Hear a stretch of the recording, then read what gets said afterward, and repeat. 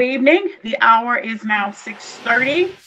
I am calling the meeting of the St. Louis County Council to order Tuesday, April 13, 2021. Would you join me in the Pledge of Allegiance? I pledge allegiance to the to the flag flag of the United United States States of America America and and to the republic for for which it stands, stands, one nation, under under God, God, indivisible, indivisible, with with liberty liberty and and justice justice for for all. All. Please call the roll. Councilmember Days. Here.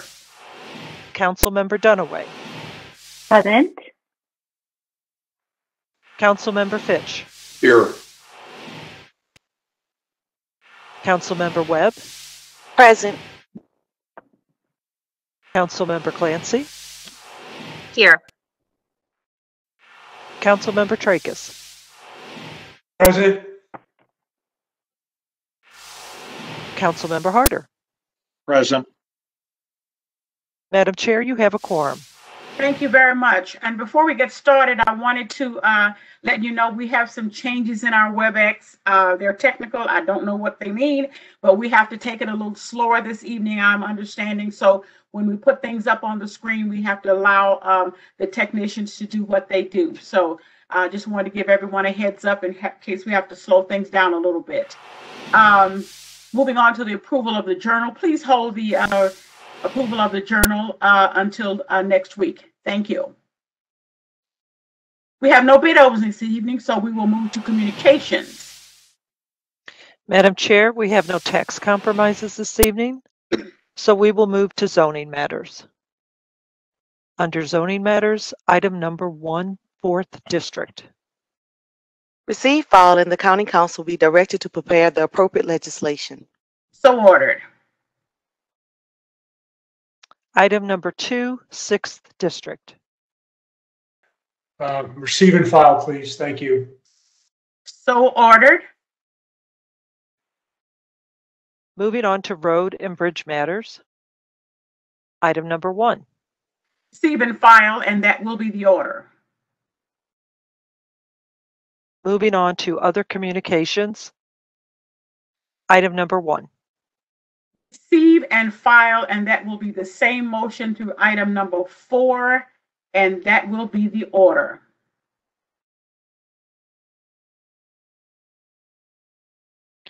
Item number five. Receive, file, and the county council be directed to prepare the appropriate legislation, and that will be the order. Item number six. Receive and file, and that will be the order. Item number seven. Receive, file, and hold on the order of business. Item number eight. Receive, file, and hold on the order of business. I have requested information from the department on items number seven and eight, and I am still waiting on that information and will move forward once I get that. Thank you. Item number nine, fifth district. Receive and file. So ordered. Item number 10, sixth district. Receive, file, and the change of doing business name be approved as requested. Is there a second? Second, Harder. All in favor, please say aye. Aye. Aye. Those opposed, no. Motion carries. Item number 11, first district. Receive, file, and the county council be directed to prepare the appropriate legislation, and that will be the order. Item number 12, third district. Receive, file, and the county council be directed to prepare the appropriate legislation. Same motion through item 14. So ordered. Item number 15, fifth district. Receive, file, and the county councilor be directed to prepare the appropriate legislation. So ordered. Item number 16, seventh district. Receive, file, and the county councilor be directed to prepare the appropriate legislation. So ordered. Item number 17, seventh district. Receive, file, and referred to the county executive and referred to the county, to the council as a committee of the whole. So ordered. Item number 18. Receive, file, and the county council be directed to prepare the appropriate legislation, and that will be the order. Item number 19. Receive, file, and the county council be directed to prepare the appropriate legislation. The same motion will apply to item number 20, and that will be the order. Item number 21, Second District. Receive, file, and the county councilor be directed to prepare the appropriate legislation. Same motion for item number 22. So ordered. Item number 23, Third District. Receive, file, and the county councilor be directed to prepare the appropriate legislation. Same motion for item 24. So ordered. Item number 25, Fourth District. Receive, file, and the county councilor be directed to prepare the appropriate legislation. So ordered. Item number 26. Receive and file, and that will be the order. Item number 27. Receive, file, hold on the order of business and refer to the council as a committee of the whole, and that will be the order. Item number 28. Receive, file, hold on the order of business and refer to the council as a committee of the whole, and that will be the order. Item number 29. Receive, file, hold on the order of business and refer to the council as a committee of the whole, and that will be the order. And item number 30. Receive, file, hold on the order of business and refer to the council as a committee of the whole, and that will be the order. Moving to add-ons, Madam Chair. Item number 1, Third District. Receive, file, and the county councilor be directed to prepare the appropriate legislation. So ordered. Item number 2, Fourth District. Receive, file, and the county council will be directed to prepare the appropriate legislation. So ordered. Item number 3, excuse me, uh, Seventh District. Receive and file. So ordered. Item number 4. Receive and file, and that will be the order. Item number 5. Receive, file, hold on the order of business and refer to the council as a committee of the whole, and that will be the order. Item number 6. Receive, file, the county council be directed to prepare the appropriate legislation. And that will be the order. Do we have any special committee reports, Ma- uh, Madam Clerk? No, we do not, Madam Chair. How many um, public comments do we have this evening? We have nine. Thank you very much. When your name is announced, uh, the clerk will ask you to begin speaking. You will state your first and last name and zip code for the record. And the clerk will give you um, uh, a, few, a warning when your three minutes is about to be up. So let's start with the first speaker this evening.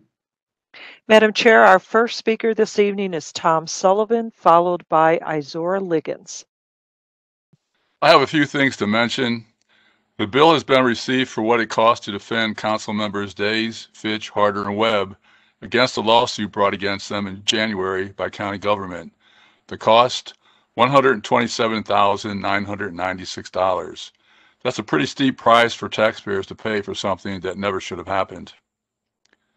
I sent the council members a map put out by the U.S. Department of Agriculture showing food deserts in the St. Louis area. St. Louis County has some significant areas within the county. There is something that should concern, this is something that should concern the council as it directly affects many county residents. At the beginning of last month, it was said the one redevelopment proposal for Jamestown Mall would be released within six weeks. It is now six weeks. This Thursday marks two years from when there was a front page story in the Post Dispatch about a recreation center to be built in North County. This was part of the deal to provide $240 million for the expanded convention center.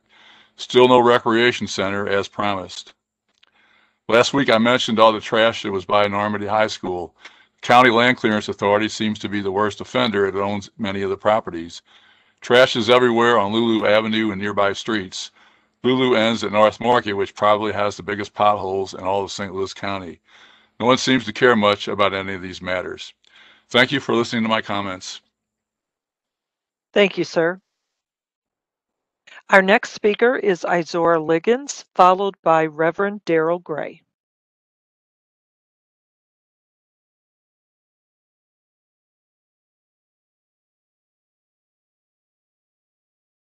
Madam Chair, I do not see um, Izora Liggins on. Um, okay, I know she had some problems last week and she talked with Chuck about that. Uh, I thought they had that cleared up, but, um, anyway, we'll have to move on. I will reach out to her, Reach Madam out. Chair, Thank you. for her comments. Yes, ma'am. Next is Reverend Daryl Gray, followed by Matt Murrin. Good evening. Good evening. Good, good evening, Madam Chair and council members. Thank you very much for this opportunity.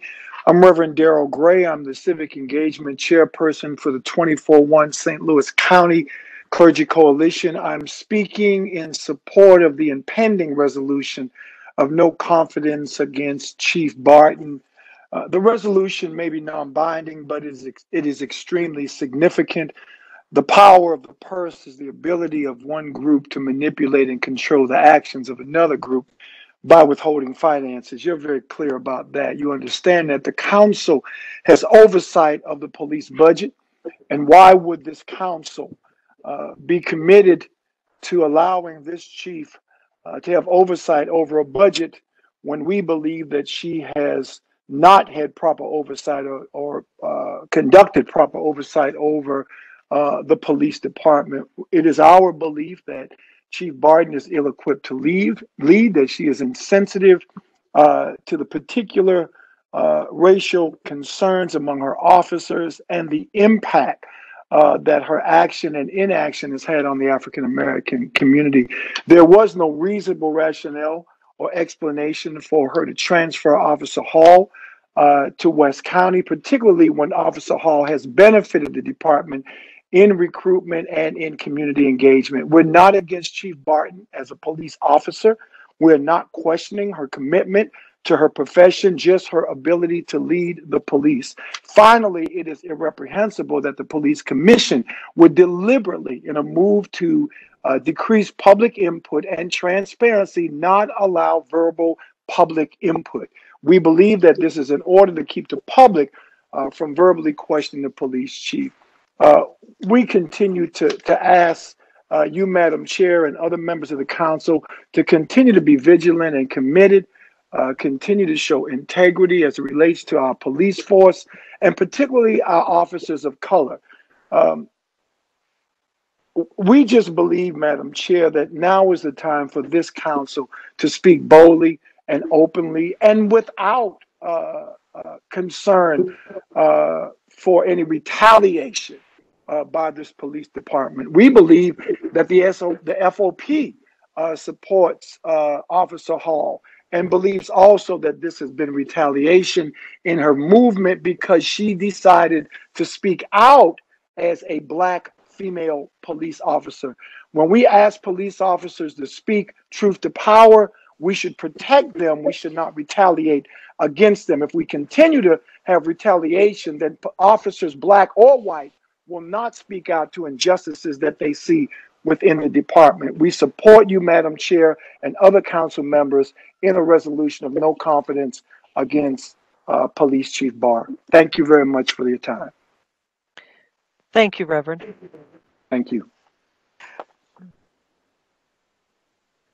Our next speaker is Matt Murin, followed by Dr. Shannon McCullough.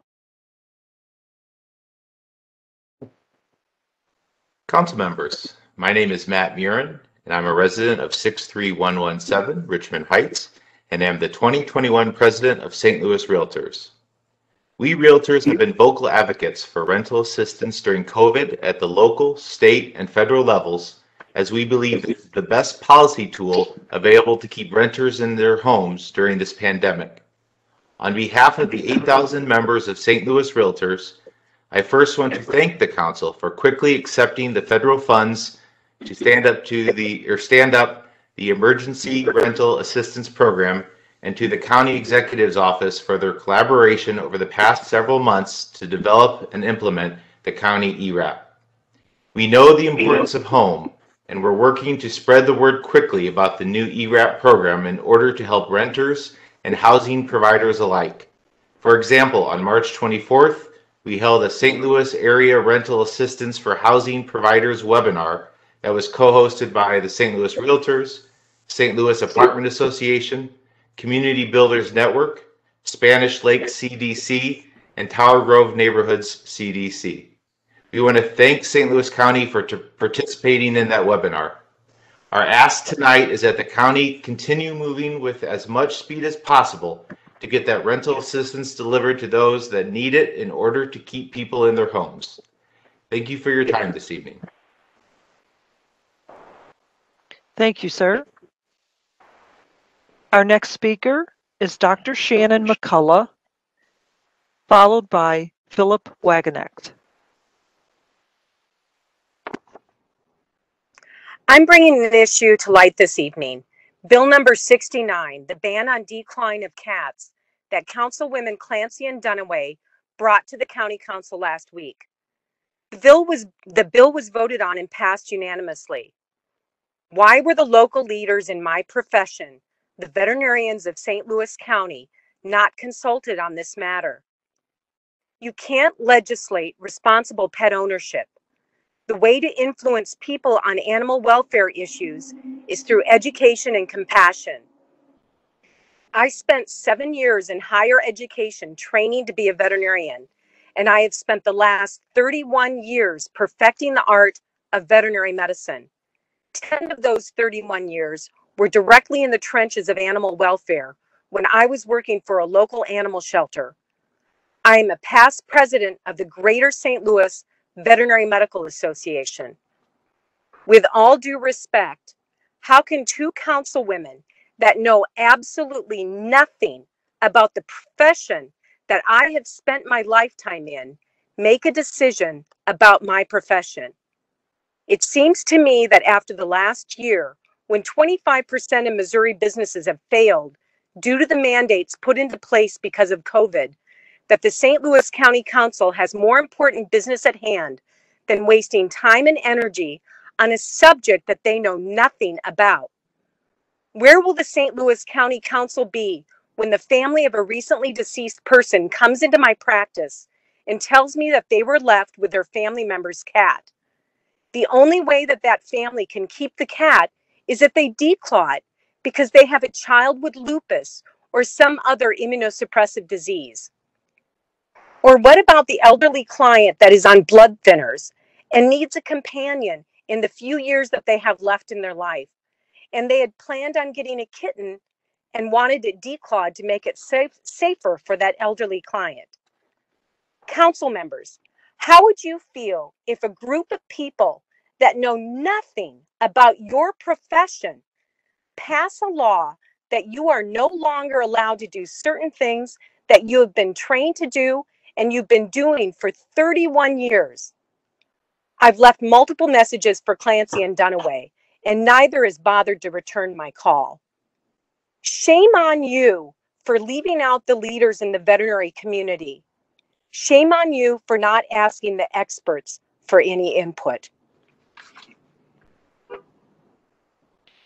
Thank you, ma'am. Our next speaker is Philip Wagenknecht, followed by Gregory Porter.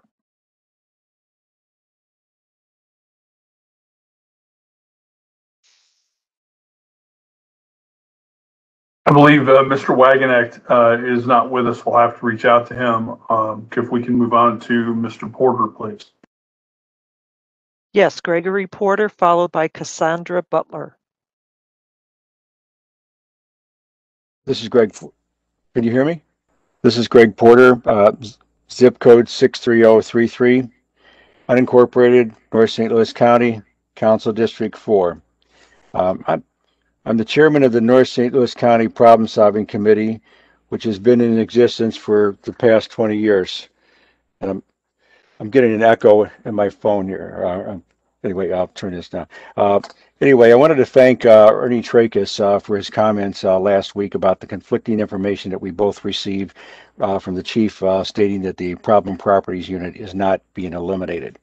Also wanted to clarify in listening to the last part of the council meeting last week and watching that, uh, my councilwoman Shalonda Webb's comments about her conversation with uh, the chief about the problem properties unit and the new community outreach uh, unit.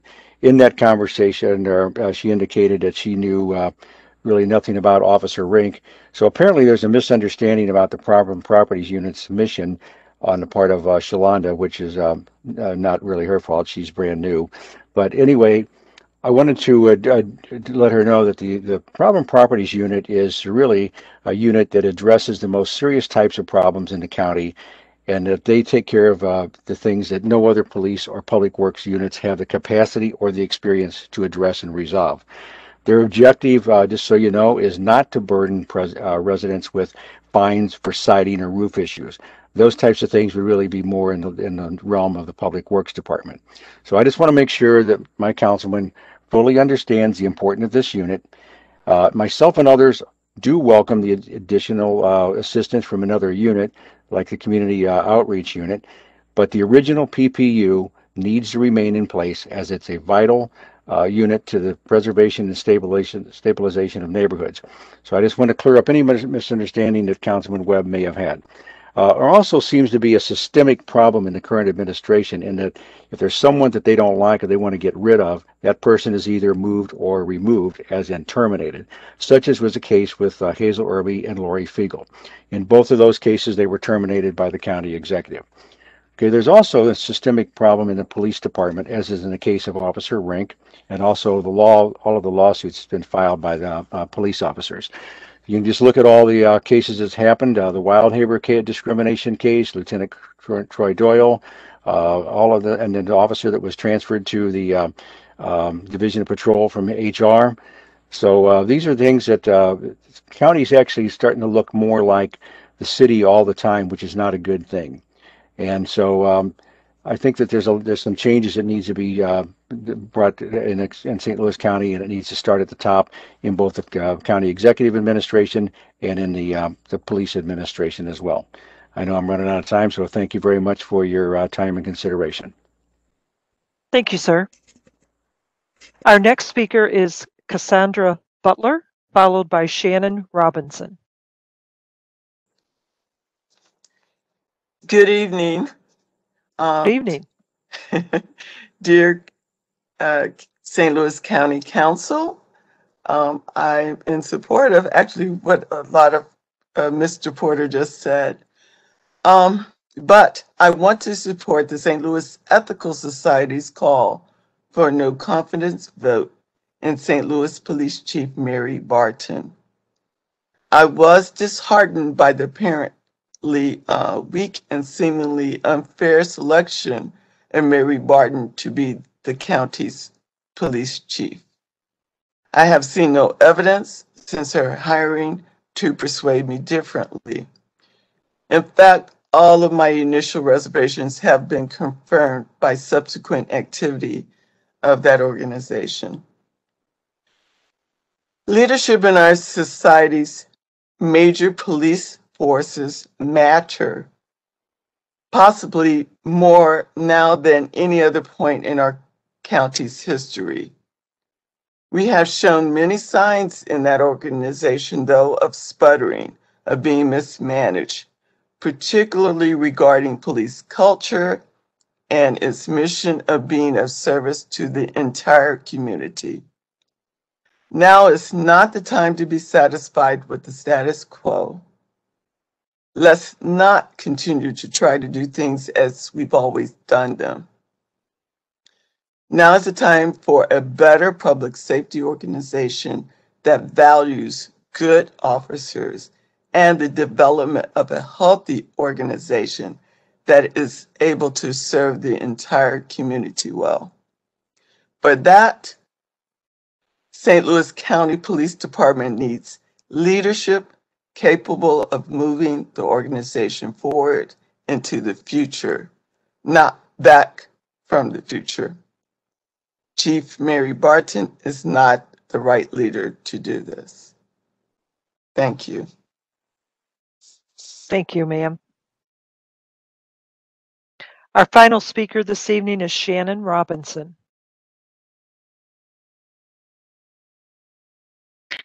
Good evening. Shannon Robinson, 63025. I'd like to talk about um, what I'm seeing as gaslighting that is happening to St. Louis County citizens. And the reason I know this is because I've traveled outside of St. Louis County a lot, like many of you may have. I've been all over Missouri, Louisiana, Florida, Mississippi, Idaho, Tennessee. People are happy, children are happy, businesses are open and thriving, and life looks completely different. In fact, you can go across the river and the hot dogs are still rolling on the roller. Do those leaders care less about their citizens? I highly doubt it. Dr. Page, is this just a grand experiment on how much you can get away with? Is this an experiment on how much control you can have? It's been about control and scaring everyone into submission, and that is why I call it gaslighting. More children die of the flu than COVID, and we have never done this before to our youth. With the flu, it's more random. You pretty much know if you're not going to do well with COVID. We've seen the numbers, we've seen the data. Those who are elderly, in fact, in our county, 53% of all of our deaths came from long term care facilities. So, those who are elderly and those that have been labeled med- medically obese with BMI numbers well over 35. Those are not numbers I'm making up, those are out there. Those are the data that we see.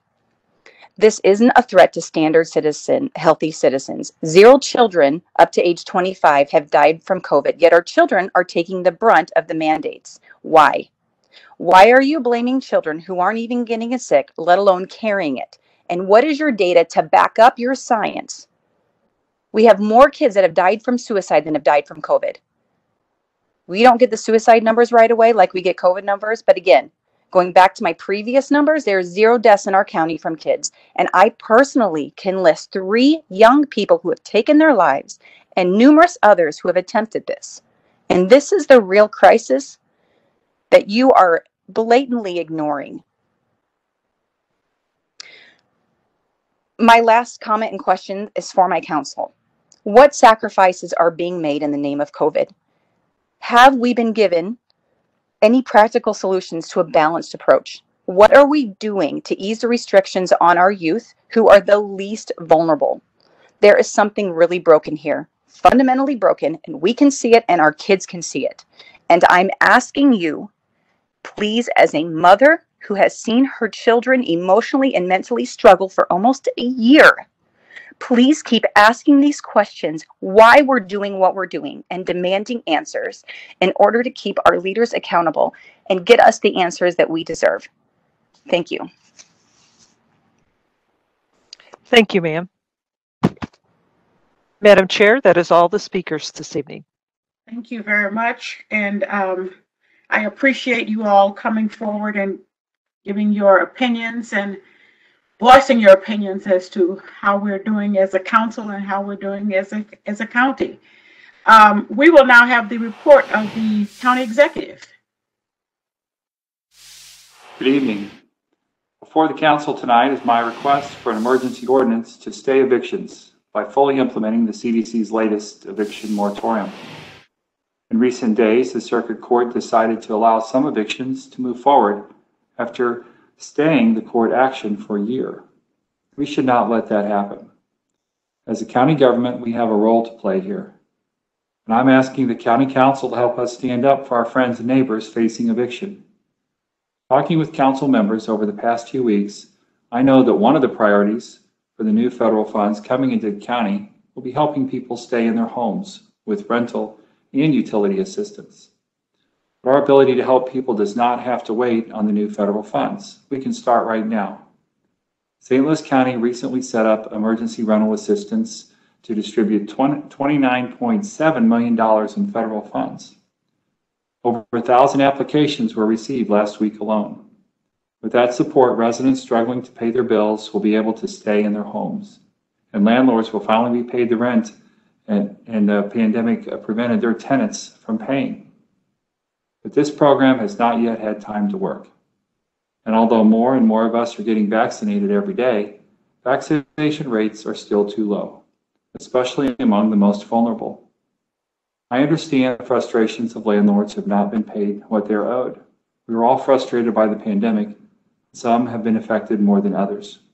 We want landlords to be made whole and we want people to be able to stay in their homes. We must acknowledge the financial and human toll this pandemic takes on landlords and on tenants. Our Director of Public Health has advised me that allowing evictions during a pandemic is simply bad public health policy.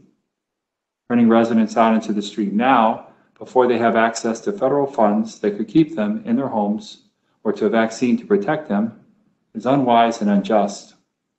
Studies throughout the country show that evictions could trigger more cases of COVID 19.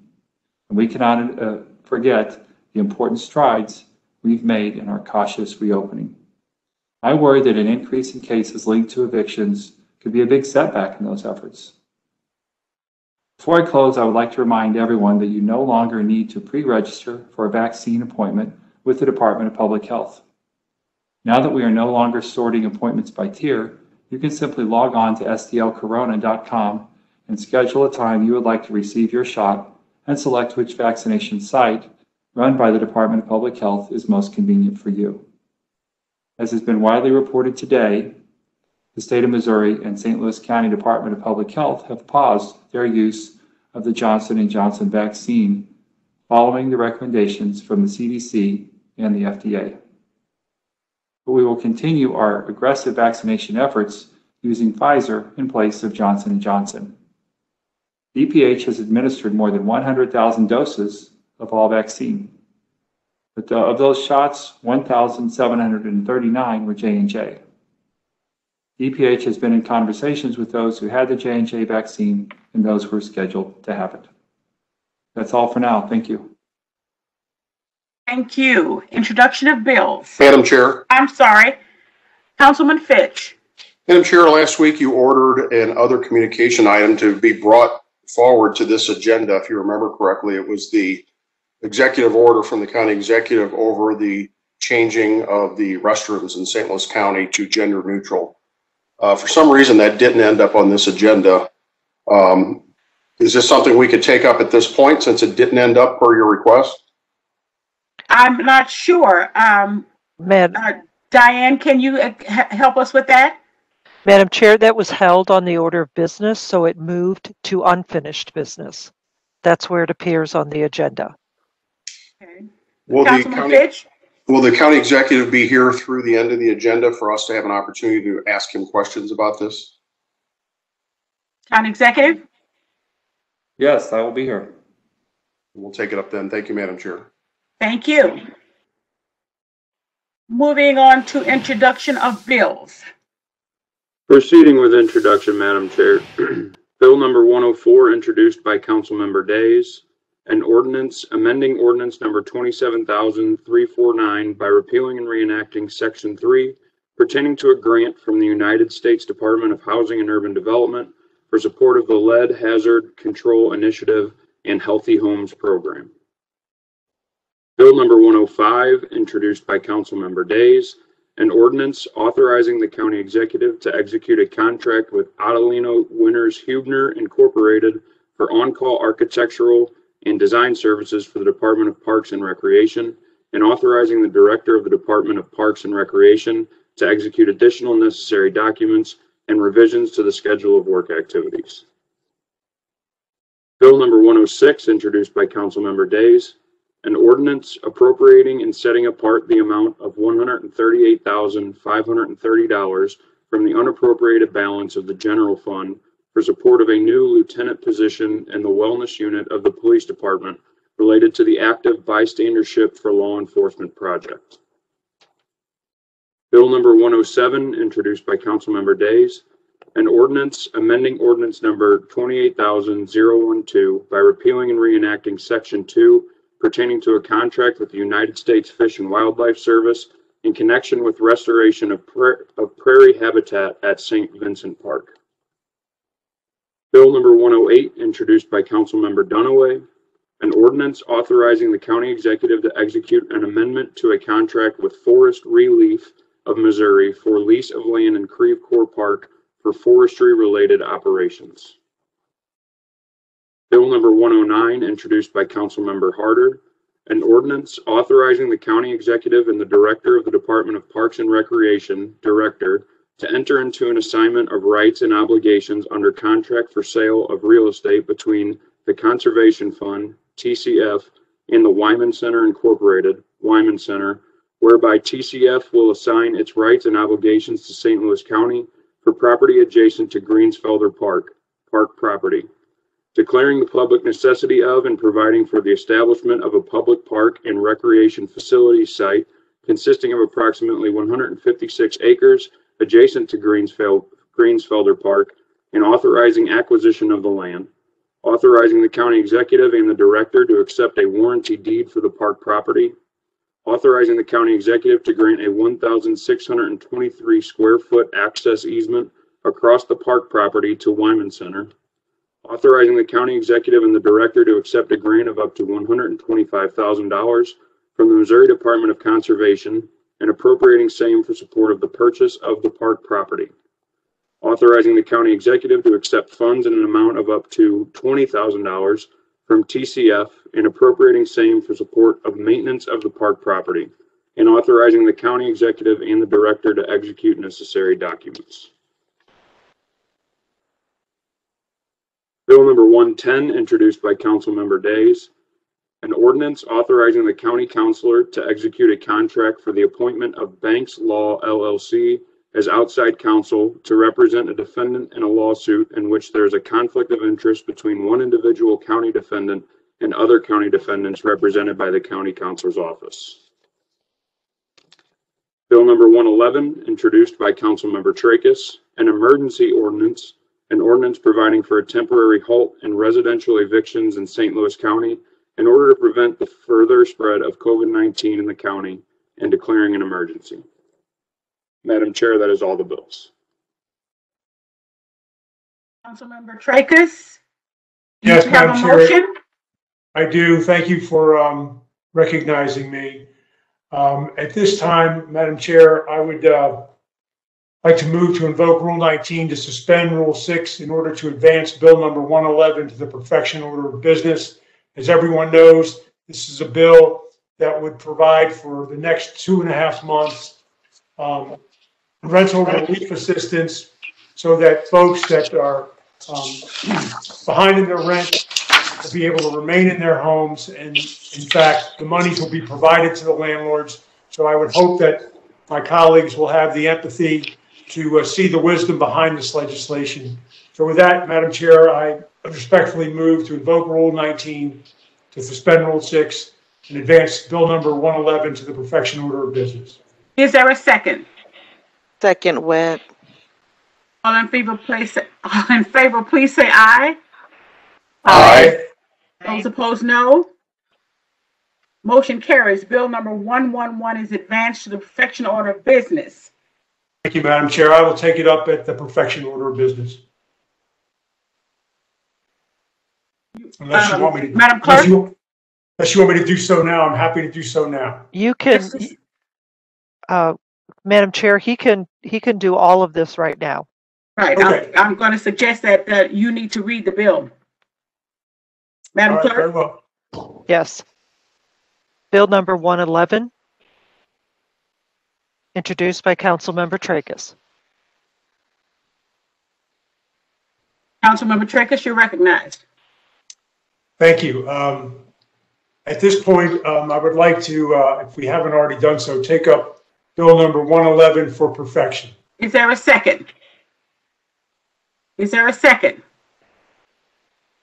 Second, Second, Clancy. Discussion, please. Discussion. Discussion. Councilmember Fitch, I heard you first. Thank you, Madam Chair. And I don't know who wants to answer this. It might be for the county executive. So he did a news conference with Congresswoman Cori Bush about this. Um, and my question comes from the opinion that we received from the county counselor's office. I don't know if you've had a chance to read this, but I want to read one portion of this. Remember, Judge Burton is the presiding judge of St. Louis County. And here's what it says. However, Judge Burton has in no way indicated that any judge in the 21st Judicial Circuit will issue any orders evicting any persons covered and protected from the eviction under the CDC order. So my question is, if that's true, and I have to believe that Judge uh, Burton is, is being uh, factual, uh, why do we need this legislation? Who would like to address that? I don't know that the county council, I'm sorry, go ahead, Madam Chair. Yes, uh, perhaps, I think that, uh, the, the county executive, can you respond to that, please? Yes, thank you for hearing this legislation. I do believe if you read the CDC order closely, um, this puts into force, uh, into local ordinance, uh, the CDC rule and recommendation. The CDC order is currently being challenged in court. And should that challenge be successful, although our public health orders have been challenged over the past year, um, and they have survived all of their court challenges, in the event that the CDC order is overturned, this adds an added layer of protection um, and establishes that this is um, the law in St. Louis County and adds, adds a, an extra layer of protection for our tenants who are going through a very uh, difficult time and may not even know that this program um, exists. The court is also not able to advocate for um, residents who come in front of them. They can hear the complaints. And this also gives our, um, you may or may not know, but um, advocates for tenants along with county employees were out uh, knocking on doors this weekend to make sure that tenants knew that this program was in place and that they could access this program instead of having to leave their homes during this pandemic. So this is a very important tool to make sure that we have, um, we're able to get the resources to people who need them. And it's an, a very important backstop in the event that the efforts to overturn the CDC's order in court are successful. Madam Chair. Uh, let me- Councilmember, just one second, Councilmember Fitch, you had the floor. Yes, ma'am. Um, I will, I will read it to you again, the county executive, because you didn't answer my question. Judge Burton has in no way indicated that any judge in the 21st Judicial Circuit will issue any orders evicting any persons covered and protected from eviction under the CDC order. So I think what I heard you say is if the CDC, CDC order is thrown out, the judge will then decide on his own to go ahead and issue the eviction orders. Is, have you talked to Judge Burton, uh, County Executive, about this legislation? Uh, yes, I have, and I did, I did answer your question, but frequently in, in political conversations and political debates, when you don't like the answer, you can ask it again, and that's fine. But the C, if the CDC order is overturned, then uh, this is an important backstop. And uh, you'll have a you'll have an opportunity here soon to decide what your your position is on on the CDC order, and your position is whether or not it should be law in St. Louis County. Thank you, Madam Chair. Thank you, Councilman Harder. I heard you next. Yes, thank you, Madam Chair. Yes.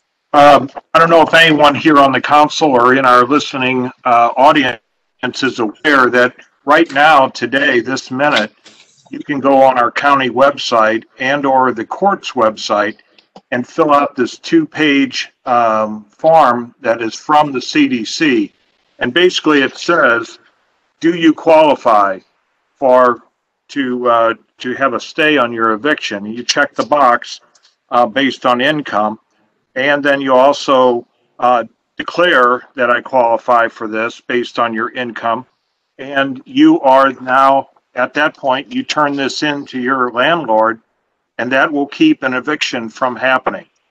So this is currently out there right now without our uh, ordinance, and it can be accessed from all these websites, or you, people can make copies of them and hand them out to tenants. And at the bottom of it, it says, if you checked at least one item in each column, your income level qualifies, and that you are to turn this over to your landlord, uh, or you can use it to turn over to the courts. So it says, finally at the bottom, uh, says, give this signed page to your individual or company you rent from, And, and for landlords, it says, thank you for compliance. If you violate the CDC eviction order, you and your business may be subject to criminal penalties, including fines and terms of imprisonment.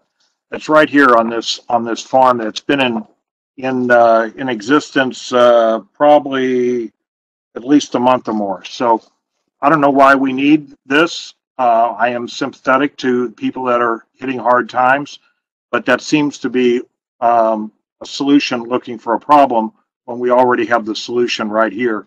I have talked to Judge Barton, and he said that if anybody walked in his court or gave one of these farms to any of his uh, sheriffs, this would stop an eviction uh, if it uh, if it was in progress. So that that is what he is going by from what he told me. So that's just a piece of information, Madam Chair. Thank Madam you, uh, Councilman Harder. Just one second, uh, Councilwoman uh, Clancy was next. Yes, um, I'd like to share some things with some of the council members based on the weeks now of conversations I have had nearly every week with housing advocates from across the region who are working very closely with tenants who face imminent risk of eviction. St. Louis County sheriffs were knocking on doors yesterday to serve evictions. Now, fortunately, there were a few tenants who were able to produce this documentation that Councilman Harder has mentioned, but this requires them to have the technical knowledge and internet access to track this information down. As, as you know, Councilman Harder, I've heard you talk before that you are concerned, for example, in our public forum, that we are unfairly um, blocking out some people with internet access. So I know you are aware of the discrepancies in internet access here in St. Louis County, and this has a huge impact on tenants being able to advocate for themselves. Um, this this legislation is important. This helps to meet a dire need right now. We have 600 households in immediate, um, in imminent threat of being evicted. And why would we not do all that we can to keep them housed right now? As Congressman Woman Bush said yesterday, housing is public health. This is an important issue, and I support and commend Councilman Trakas for bringing this forward tonight, um, following the county executive's lead and to trying to expedite this. Thank you. Councilman Trakas. Thank you, Madam Chair. Uh, I just want to try to address um, the concerns raised by Councilman Fitch and Councilman Harder a- and sort of reiterate and embellish what the county executive has already addressed. The forms that Councilman Harder raised are, in fact, effective as long as the CDC's order is effective. If that order, which is currently under court examination and challenge, is found to be um, improper and stricken, then the forms Mr. Harder is referring to are worthless. They're not even worth the paper they're printed on. This ordinance will serve, as the county executive has said, as a backstop, as a fail-safe, if you will, so that if that order is struck down, residents will, at least for the next two and a half months, still have the ability to stay in their homes. And by then, I'm quite certain that more than sufficient funds will be made available and paid directly to landlords and property owners. So again, this is just a simple fail-safe so that none of our residents are subjected to eviction. And I would urge my colleagues to, uh, to see that and, and support this measure. Thank you, Madam Chair. Thank you. Any further discussion? Any further discussion on this? Uh, Madam Councilman Chair. Fitch. Thank you. One of the things I would like to see is a, some sort of statement from Judge Burton stating that he has, supports this legislation. He has no problems with the legislation moving forward. And I heard the county executive say he has spoken with him, but I did not hear uh, any sort of affirmative answer from the judge on whether or not he supports this legislation. Okay, Councilman Fitch, uh, Councilman, uh, Trakas.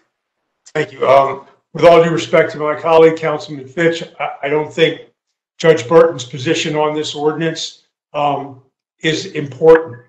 His order that he issued is an administrative order applicable to the courts. Um, this legislation is the council's business. The, the preservation of the ability of people to remain in their homes is our business. And we have to make that decision. And again, I, I very respectfully request that the council support this measure and that we provide this fail-safe level of protection should it be needed. Thank you. Madam Chair, Uh, Councilwoman Webb. as I sit here and I listen to my peers, and I appreciate each of them from doing their due diligence and finding out more information concerning this legislation, what puzzles me as I sit here is, are we debating on helping the people in our community to ensure that they stay in their houses? It doesn't matter to me who brings forth the legislation. If we're going to make sure that we are doing our jobs and taking care of the people of St. Louis County, that's what should be at the forefront of our minds. I really hope this council starts to work in the in the path of what's best for the people in this community and stop the back and forth unnecessarily. We put legislation time and time again for a various number of topics. But what enrages me as I sit here is when we debate with people's lives and caring and providing and protecting and providing a home for their children. We've got to stop this. Thank you, Madam Chair. Thank you.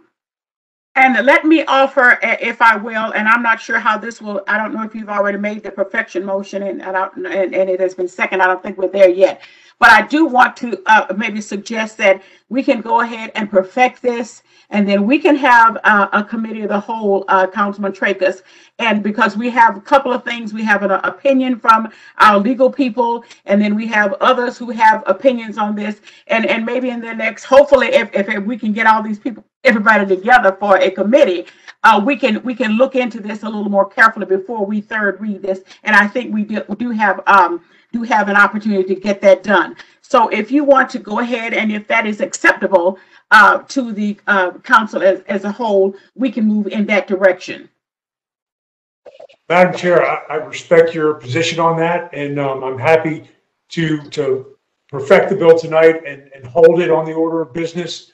My only concern would be that uh, we do get it done by next week because I think time is of the essence here. There's no guarantee when the court that's considering the CDC order will rule. And if it does strike that order down, then I think residents in the county at that point are at risk. And we, we have not passed the sale, a fail-safe for them. So I- out of respect for you, Madam Chair, I will uh, um, move to perfect the bill. I think I've already done that. That's what we're discussing. I will hold it on the final passage order business um, so that we can have this committee of the whole. Thank you. And I did not hear a second on that motion. Did we have There a was, second, ma- Diane? Yes, Madam Chair, it was seconded by Councilwoman Clancy. Oh, okay. All right then. So, so this is for the perfection. This is to perfect bill number one Perfect it. one one. All right? Yes. This is where we are. All in favor, please say aye. Aye. Those opposed, no. So the motion carries. Councilman Trakas? Thank you, Madam Chair. I think um, I will, at that point, leave uh, the uh, Bill 111 on the perfection order of business for next week. Um, Madam Chair, Madam Chair. Councilwoman Clancy, I heard you first.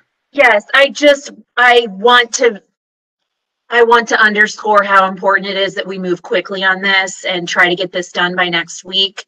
Um, you know, hearing scheduling can be challenging sometimes, but um, we are looking at potentially 70 evictions per day between now and next week here in St. Louis County. Every day matters for these families. There's no way of knowing that each of these households has this CDC paperwork despite the outreach efforts. So time is of the essence here. And as Councilwoman Webb said, um, this is people's lives and livelihoods. Absolutely, and I do appreciate that, which I, I am going to implore that you all make your calendars available for us to do that. This, this is, has been the challenge for, for a, a minute now. Councilman Trakas, did you have something else to say? Just on, you know, I suppose, Madam Chair, that uh, if I thought I had seven votes tonight, I'd move for final passage, but I'm not sure that I do. And I, I can't um, risk it. So I just want to reiterate Councilwoman Clancy's concern and ask that we all make ourselves available for committee of the whole this coming week so that we can act on this legislation next week. Thank you. Thank you so much. Councilman Harder? Yes, I would also ask the chair if, uh, before the committee of the whole, that we reach out to the um, uh, landlord community and their representatives to find out what their opinion is and how they can help in this situation. And uh, maybe there's some things that need to be tweaked in this legislation that would benefit everyone. So I would encourage you to reach out to uh, the landlord tenant uh, organizations and, and get their opinion as well. We will do that, and we also know that we have a, have a, um, engaged a company to do the kind of, uh, what we're looking for in terms of these, uh, these, uh, evictions. And we do have someone, we put the RFP out that has been, and so we need to look at the department director, um, uh, Andrea Jack Jennings, and perhaps she can come and shed some light on this as well. Councilman Fitch, I think I saw your hand. Yes, ma'am. I just wanted to say I appreciate you and Councilman Trakas agreeing to have a committee of the whole on this. I think I really listened to what Dr. McCullough said in her public comments a little while ago. We're, we are rushing this and we are not getting all sides of this. Uh, we need to do that. We need to do our due diligence. That's why we ask questions like this. They might be uncomfortable or using the county executive's words, political, uh, but we have to ask these questions. And if we can't get the answers to them and move forward, we can move forward too hastily, like I believe we did on the cat declawing uh, ordinance. And uh, that's what happens when you don't ask the right questions of all the stakeholders and then make a decision. So thank you for that. And hopefully we will have all the stakeholders, all the pertinent people uh, at this. And please make your calendars available for this, okay? So thank you very much. Um, now, where were we? We are moving on to perfection, Madam Chair. Perfection. All right. Thank you. You're welcome. Bill number 20, introduced by Council Member Harder. Please hold bill number 20. Bill number 20 is held. Bill number 32, introduced by Council Member Trakas. Please hold bill number 32. Bill number 32 is held. Bill number 266, introduced by Council Members Fitch and Harder. I move to hold Bill 266. Bill number 266 is held. Bill number 267, introduced by Council Members Fitch and Harder. I move to hold Bill 267.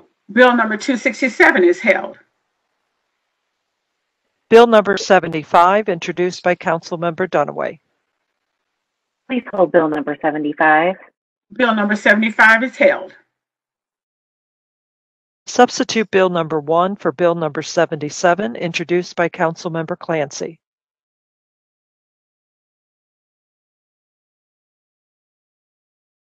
Um, please hold substitute bill number one for bill number 77. Substitute Bill number 1 for Bill number 77 is held. Substitute Bill number 1 for Bill number 84, introduced by Council Member Trakas.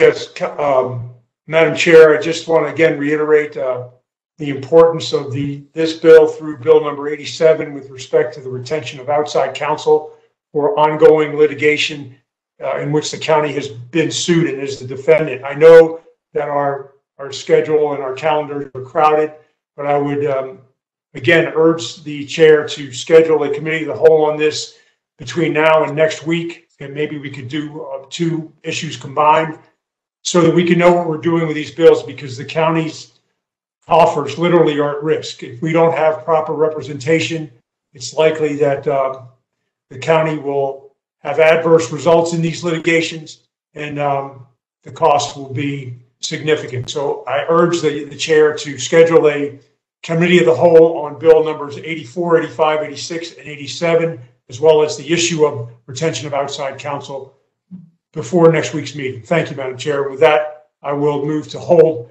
sub-bill one for bill number 84. Substitute Bill number 1 for Bill number 84 is held. Substitute Bill number 1 for Bill number 85, introduced by Council Member Trakas. Move to hold substitute bill number one for bill number 85. Substitute Bill number 1 for Bill number 85 is held. Substitute Bill number 1 for Bill number 86, introduced by Council Member Trakas. Move to hold substitute bill number one for bill number 86. Substitute Bill number 1 for Bill number 86 is held. Substitute Bill number 1 for Bill number 87, introduced by Council Member Trakas. Move to hold bill- substitute bill number one for bill number 87. Substitute Bill number 1 for Bill number 87 is held. Moving on to Bill number 88, introduced by Council Member Clancy. I move to hold bill number 88. Bill number 88 is held.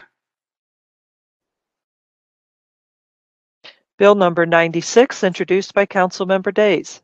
I move to perfect Bill number 96. Is there a second? Second, Fitch. All in favor, please say aye. Aye. Aye. Those opposed, no. Motion carries. Bill number 96 is perfected. Bill number 97, introduced by Councilmember Days. I move to perfect Bill number 97. Is there a second? Second, Fitch. All in favor, please say aye. Aye. Aye. Opposed, no. Motion carries. Bill number 97 is perfected. Bill number 98, introduced by Councilmember Days. I move to perfect Bill number 98. Is there a second?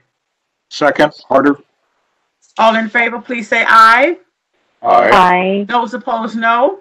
Motion carries. Bill number 98 is perfected. Bill number 99, introduced by Councilmember Days. I move to perfect Bill number 99. Is there a second? Second, Harder. All in favor, please say aye. Aye. Aye. Those opposed, no. Aye. Motion carries. Bill number 99 is perfected. Bill number 100, introduced by Councilmember Webb.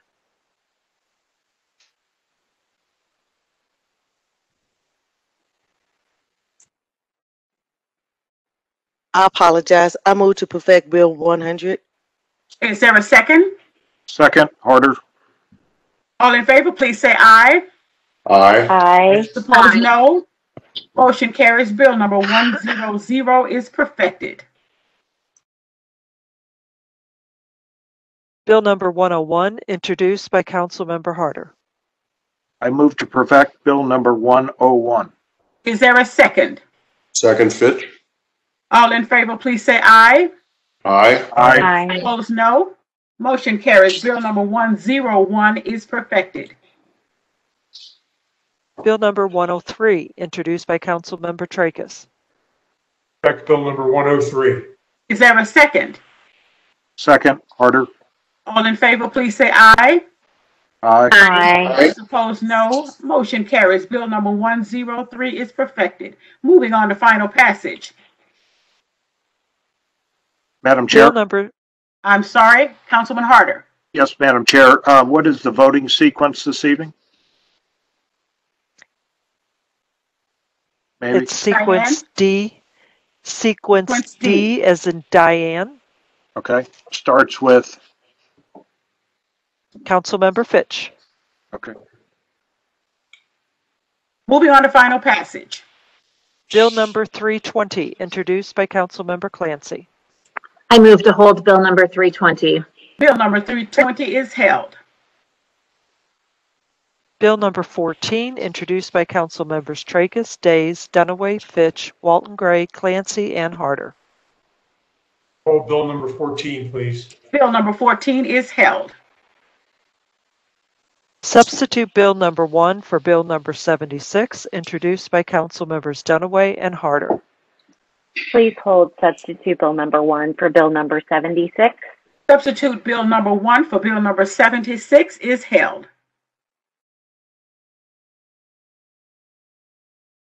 Bill number 220, introduced by Councilmember Trakas. Please hold Bill number 220. Bill number 220 is held. Bill number 89, introduced by Councilmember Fitch. This is the uh, penalty change to the marijuana ordinance. And basically what it does is it changes the penalty for possession of small amar- amounts of marijuana from up to a year in the county jail and or a thousand dollar fine to a maximum of a one hundred dollar fine and no jail time. That's what this does. I move for the final passage of bill number eighty-nine. Is there a second? Is there a second? Second, Second Webb. Roll call, please. Madam Chair, discussion? Discussion, Councilman Trakas. Thank you, Madam Chair. Um, I just want to point out that, uh, I understand Councilman's, Councilman Fitch's motivation here, uh, but I do believe that marijuana is, for lack of a better way to put it, an entry drug, meaning that it's the first stop in a progression to more serious um, drugs. And so I'm concerned that by reducing the penalty for possession of a small amount of marijuana, we encourage that escalation. And I know um, others in the past have felt the same way. And so I think that I cannot support this bill for that reason because I do not want to send the message that somehow recreational use of marijuana is um, akin to alcohol because I, I don't believe it is. I do believe it is a gateway drug. I'm concerned about the impact that that may have.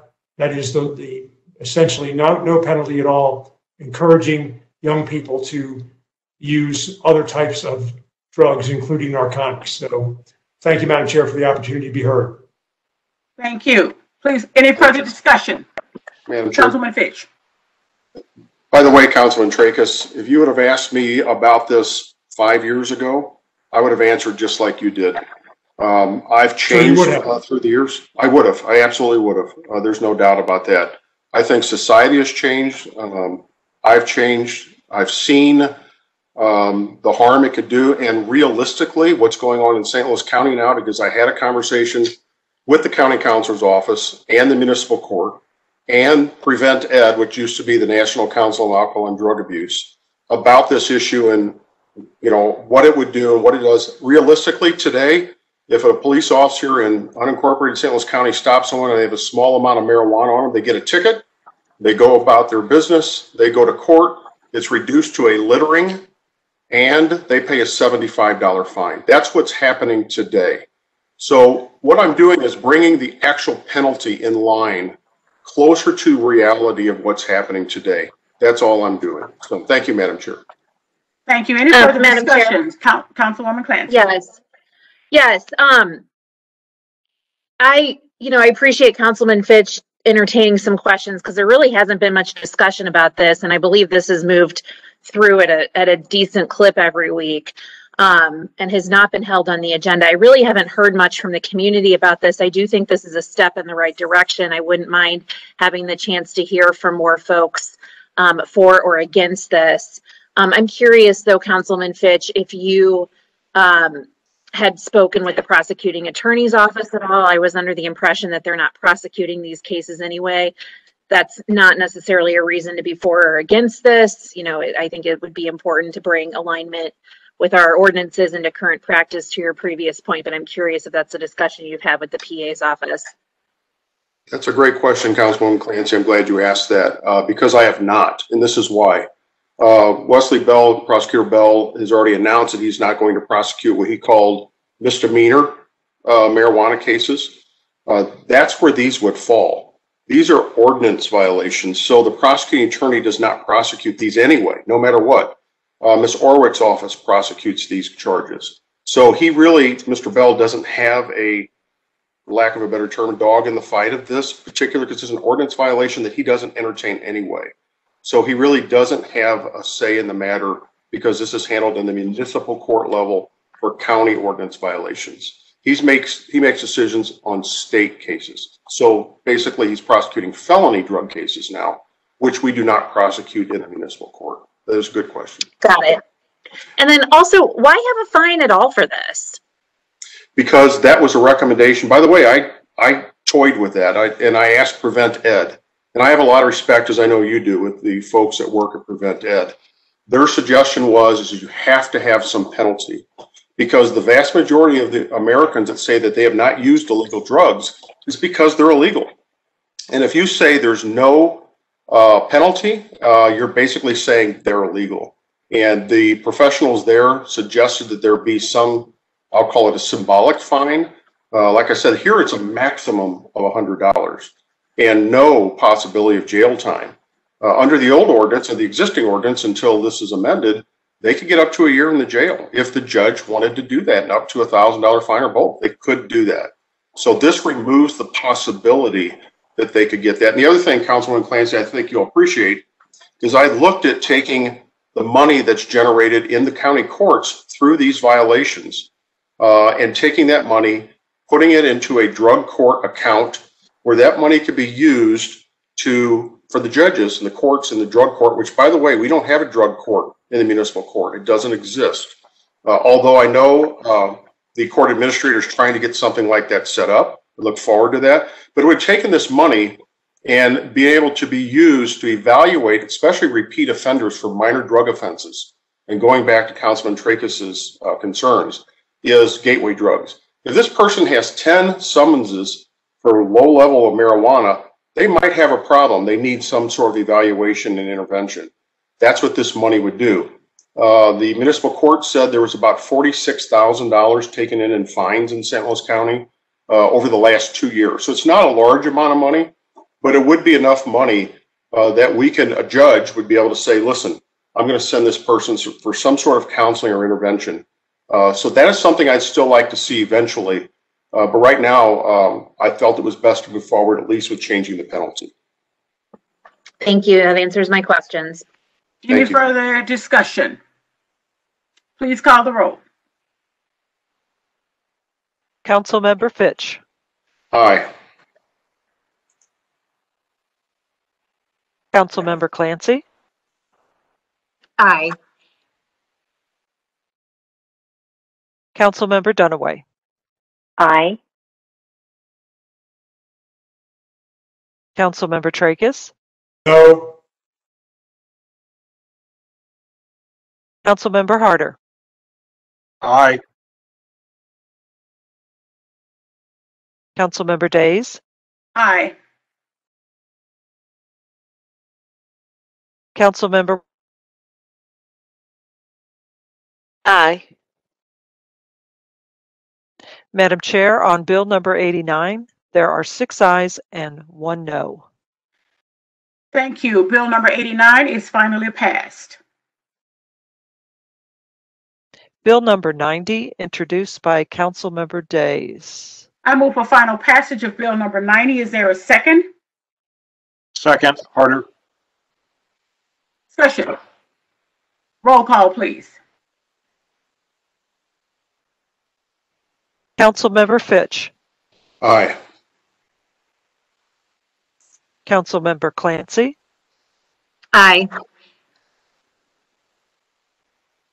Councilmember Dunaway. Aye.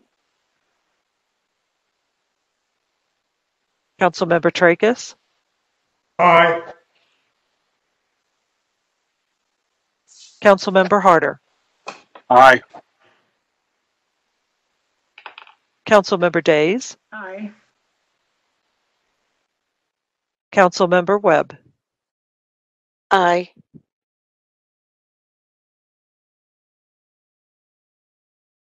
Madam Chair, on Bill number 90, there are seven ayes. Bill number 90 is finally passed. Bill number 91, introduced by Councilmember Days. I move for final passage of Bill number 91. Is there a second? Second, Fitch. Discussion? Roll call, please. Councilmember Fitch. Aye. Councilmember Clancy. Aye. Councilmember Dunaway. Aye. Councilmember Trakas. Aye. Councilmember Harder. Aye. Councilmember Days. Aye. Councilmember Webb. Aye. Madam Chair, on Bill number 91, there are seven ayes. Bill number 91 is finally passed. Bill number 92, introduced by Councilmember Days. I move for final passage of Bill number 92. Is there a second? Second, Fitch. Roll call, please. Councilmember Fitch. Aye. Councilmember Clancy. Aye. Councilmember Dunaway. Aye.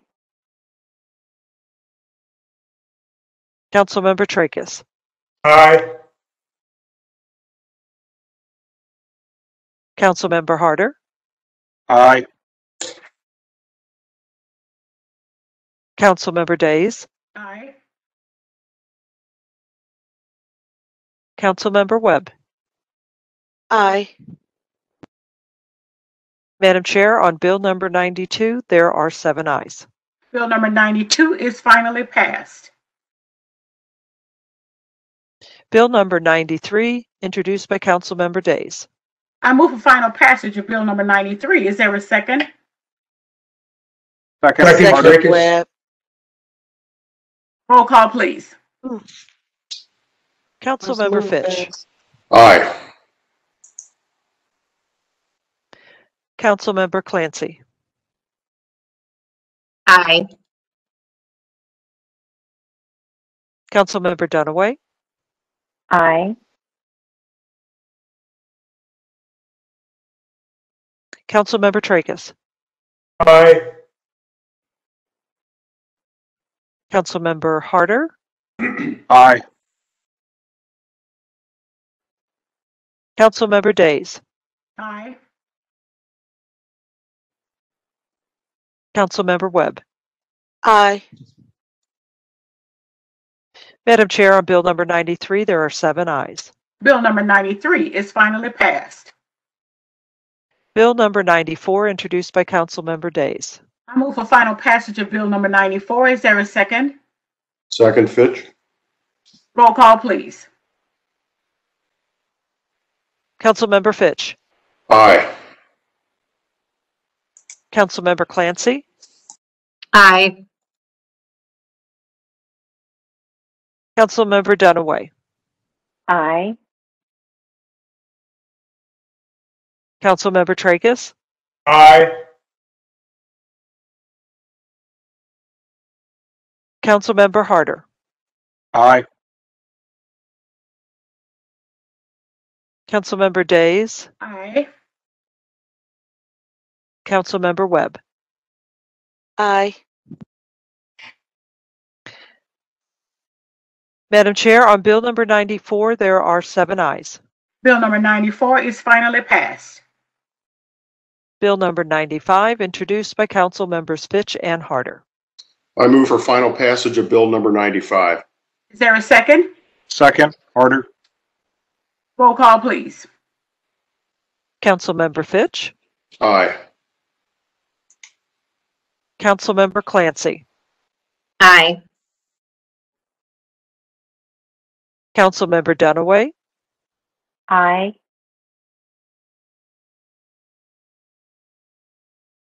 Councilmember Trakas. Aye. Councilmember Harder.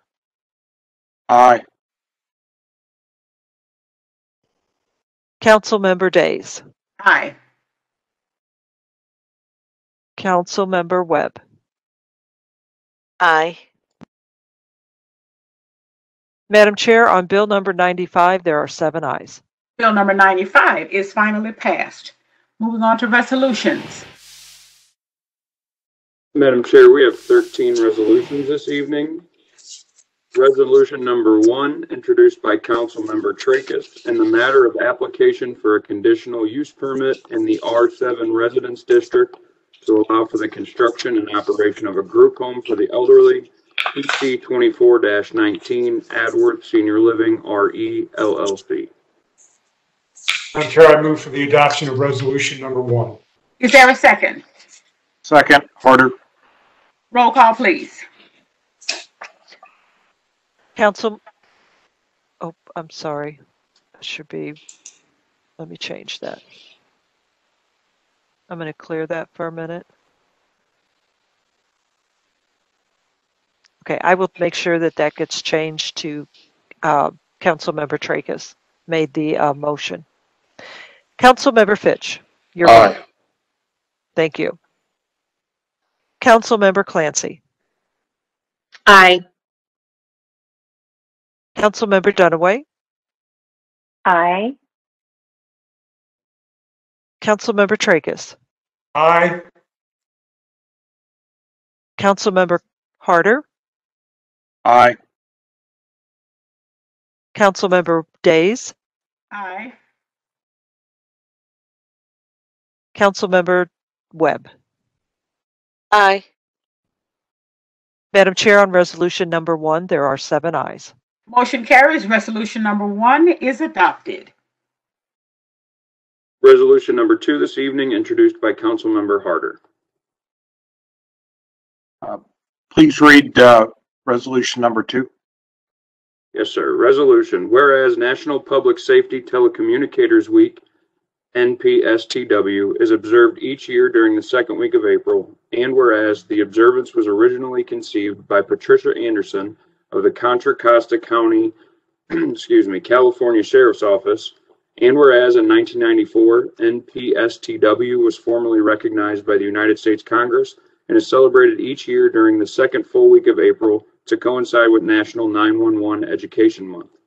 And whereas the annual obser- observance was created to raise public awareness of the hard work and dedication of the first first responders and further serves to educate the public, providing a familiarization with the mechanics of 911 and creating confidence when calling for help. And whereas the St. Louis County Police Department's Bureau of Communications, quote, Bureau of Communications, is the largest public safety answering point in St. Louis County with an authorized strength of 91 employees and serving over 400,000 residents. And whereas NPSTW will be observed throughout the United States from April, April 11 through the 17th, 2021. Now therefore be it resolved by the County Council of St. Louis County, Missouri as follows. Section 1, the County Council recognizes the week of April 11 through the 17th, 2021 as National Public Safety Telecommunicators Week and expresses its deepest gratitude to all the dedicated and hardworking employees in the Bureau of Communications. Section 2, the Administrative Director shall send certified copies of this resolution to St. Louis County Chief of Police Mary Barton. Thank you, Kevin. Uh, I move for adoption of resolution number two. Is there a second? Second, Fitch, and discussion. Discussion. Councilman Fitch. Thank you, Madam Chair. Um, I was out at the Office of Emergency Management today to visit with the 911 dispatchers and have a talk with them and thank them for their service again during this National Telecommunicators Week. Um, I thought you might be interested in hearing one small uh, statistic from that bureau. Uh, As we read on the front page of the Post Dispatch two weeks ago, of all the 911 issues in St. Louis City, how long it takes to answer those calls and people being assaulted and waiting for, in many cases, multiple, multiple minutes or maybe not 911 answering at all. Well, that's not the case out at the Office of Emergency Management and the, the Communications Center of the County Police. Uh, I asked for the statistics to see how quickly our 911 calls are being answered. 90% of the 911 calls are answered in less than 10 seconds. 90% of the 911 calls are answered in less than 10 seconds. That's something uh, for this council to be proud of, and I commend the men and women that do that tough job for 12 hours every day at the uh, Bureau of Communications. Thank you, Madam Chair. All right, we have a motion and a second. Roll call, please. Councilmember Fitch. Aye. Councilmember Clancy. Aye. Councilmember Dunaway. Aye. Councilmember Trakas. Aye. Councilmember Harder. Aye, and congratulations to all of our 911 dispatchers. Councilmember Days. Aye. Councilmember Webb. Aye. Madam Chair, on resolution number two, there are seven ayes. Motion carries. Resolution number two is adopted. Resolution numbers three, four, five, six, and seven this evening, introduced by council members Fitch, Dunaway, and Clancy. Uh, Thank you, Kevin. I move for the adoption of resolution numbers three, four, five, six, and seven. Is there a second? Second, Trakas. Dunaway. Madam Chair? Discussion. Madam Chair, um, can I please ask the deputy clerk to read a prepared summary recognizing the firefighters and police officers who are honored in the five resolutions just adopted? Absolutely. Kevin? Yes, Madam Chair. Resolutions four, five, six, and seven adopted this evening recognize and honor the firefighters and police officers from Creve Coeur, Olivette, and St. Louis County who will be awarded and honored at the Creve Coeur Olivette Chamber of Commerce Annual Awards Dinner and Auction on April 16th, 2021. Those being recognized and honored are Captain Jim Rajazowitz, or I'm sorry if I messed that up, uh, the EMS training coordinator for the Olivette Fire Department, who will be recognized as Firefighter of the Year for his hard work and determination to meet the challenges presented by the pandemic head on and continue to provide critical instruction and training classes to ensure that the department maintains all required certifications. The Creve Coeur Fire Protection District's B Shift, who will be honored as the 2020 Firefighters of the Year for their heroic efforts and life-saving response to a rapidly growing fire at a three-story apartment building on March 7, 2020.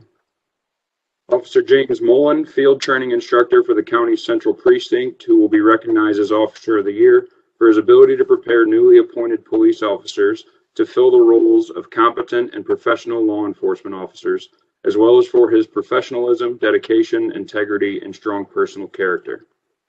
Officer Patrick McKeon of the Creve Coeur Police Department who will be recognized as Officer of the Year for his contributions to several critical calls this past year, including his response to a possible familial child abduction where he successfully rescued an eight year old child and facilitated the appropriate mental health intervention for the suspect, as well as for his leadership and proactive police patrol, his kindness, and his willingness to help his coworkers no matter what. And Sergeant Jeremy Horton of the City of Olivette Police Department, and a veteran of the United States Marine Corps and Army National Guard, who will be recognized as Officer of the Year for his development and management of the department's crisis intervention team and making sure his fellow officers are properly trained and equipped with resources needed to be effective when responding to mental health calls, as well as his leadership as firearms instructor, instructor where he has expanded critical tools training and brought attention and focus to de-escalation tactics and other alternatives to arrests. And Madam Chair, I appreciate uh, Councilwomen Dunaway and Clancy co-sponsoring the, these uh, awards and these resolutions. Uh, the three of us share the jurisdiction of the Creve Coeur Olivette Chamber of Commerce. Uh, and with that, I'll turn it back to you, Madam Chair. Thank you. Did you move for the adoption of all of them at the same time? Three, Yes, ma'am, I four, believe five, six, Councilman and Hart- seven. Yes, ma'am. I believe Councilman Harder seconded. He Is that right, did. Okay. I have Now, uh, uh, let me ask Councilman you Trakas. Of, I'm I'm sorry. sorry, Diane? Madam Chair, I had Council Member Trakas. Was that Council Member Harder that made the That second? was me. That No, was me. that, that was Trakas. Thanks. Well, we'll let council, now, uh, let me ask, uh, I guess, Beth, do we have to have roll calls on these separately? Or can they do, uh, one and, and a week? We could do them all Beth? together. We can't do them all together. All right, let's go. Roll call, please. Council Member Fitch, Aye. Council Member Clancy, Aye. Council Member Dunaway, Aye. Council Member Trakas, Aye. Council Member Harder, Aye. Council Member Days, Aye. Council Member Webb, Aye. Madam Chair, on resolutions number three through seven, there are seven ayes. Very well. Motion carries. Resolutions number three through seven are adopted. Moving on to resolution number eight this evening, introduced by Councilmember Days. Thank you. I move for the adoption of resolution number eight. Is there a second? Second Webb. Thank you. Uh, Kevin, I won't have you to read this. This was a resolution that I had to try to get in uh, last week, but it is uh, regarding National Minority Health Month. And given the pandemic and its um, effectiveness on the African American community, uh, in this resolution, we were suggesting very strongly that we have same day registrations and walk-in services, and uh, and we uh, thankfully have gotten with the Department of Public Health, and they have instituted uh, many of the suggestions that Councilwoman Webb and I put in to uh, try to encourage the particularly the African American uh, community to come forward and get their vaccinations. So I will not read that except to say that uh, this will be going to Dr. Khan Doucette uh, Schmidt and given to uh, the people with the outreach because I think it is extremely important that we do even more than we're doing right now to increase the outreach in the African American community. So with that, I will move for the adoption of resolution number eight. Is there a second? Second, Webb. Thank you.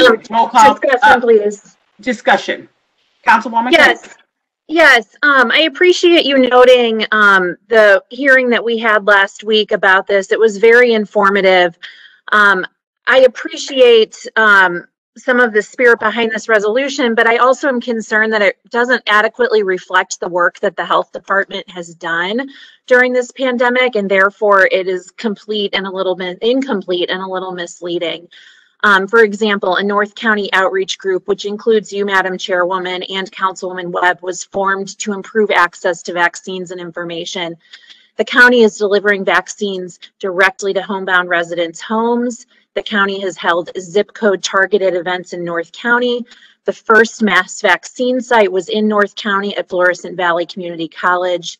Um, as you are well aware, the county developed a new PSA program to increase vaccine registration, which featured both you, Chair Chairwoman, and Councilman Webb, um, which I recommend everyone should watch those PSAs. They were fabulous. Um, there's even more that's been done, which we know because the new Public Health Department Director, Dr. Khan, as you noted, spoke with us last week. Um, especially after all of the work that he told us is, in, is ongoing. I think that this resolution is disingenuous at best. Of course, there is always more to do, and we need to be on the cutting edge of outreach and community engagement. But I believe strongly that it's important to recognize the work that has been done and the efforts that are ongoing in an incredibly difficult environment. Um, but I do take it from this resolution that the department will have the support it needs from the council to achieve these goals. And so I'm pleased to see that level of cooperation and wanted to note all of the above um, as we prepare to vote on this tonight. And thank you very much for that. And I and in any situation, it can always be done. Uh, uh, more can be done. Uh, however, the African American community still lags far, far behind in the number of vaccinations uh, that they are receiving. Uh, we had one at Del- Dellwood uh, just this week, and now that vaccine has been uh, on hold. It was a J and J vaccine. So, in light of that, and in light of all of the fact that uh, the the African American community still is not getting the number of vaccines that they should, we still need to do more outreach. So, I appreciate your comments, uh, Councilwoman Clancy, and I, I am saying that the uh, the department is doing as best they can with what they have, and uh, but we still need to do more because the fact of the matter is, when they don't get vaccines, that is um, is jeopardizing an entire community. So thank you so much for that. Any further discussion? Roll call, please. Councilmember Fitch. Aye. Councilmember Clancy. Um, abstain. Councilmember Dunaway. Aye. Councilmember Trakas. Aye. Councilmember Harder. Aye. Councilmember Days. Aye. Councilmember Webb. My vote is aye, and Madam Chair, I would like to be a co-sponsor of this resolution. Thank you.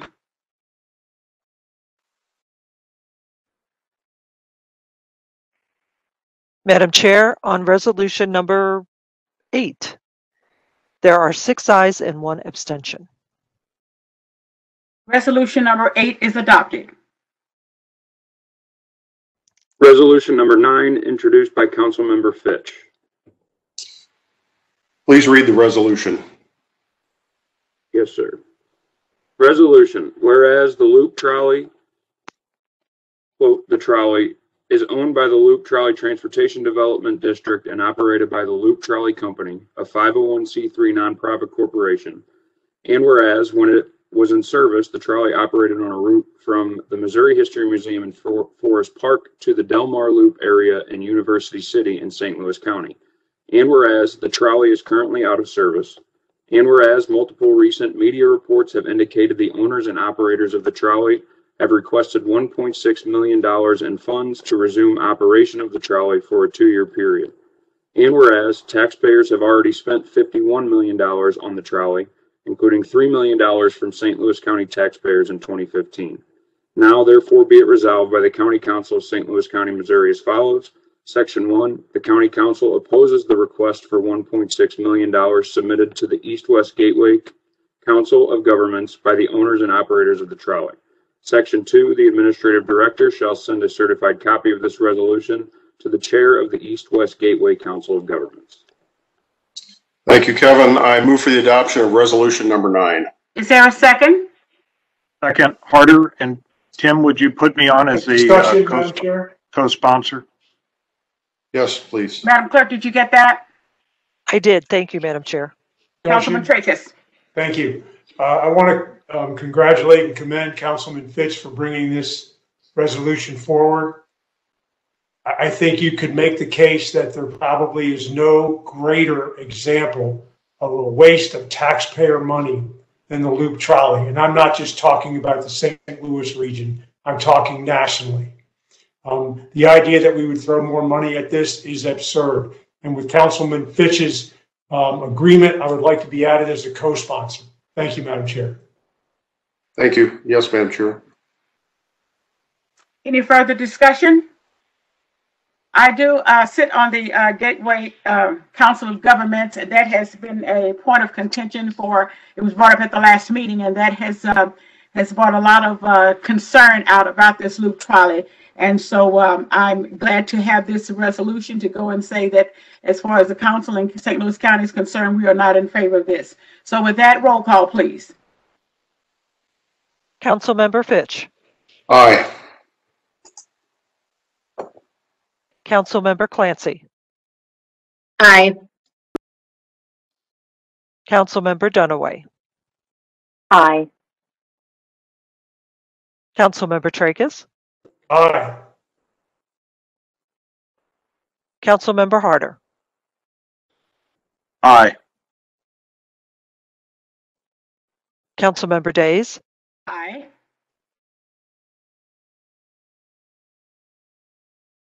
Councilmember Webb. Aye. Madam Chair, on resolution number nine, there are seven ayes. Motion carries. Resolution number nine is adopted.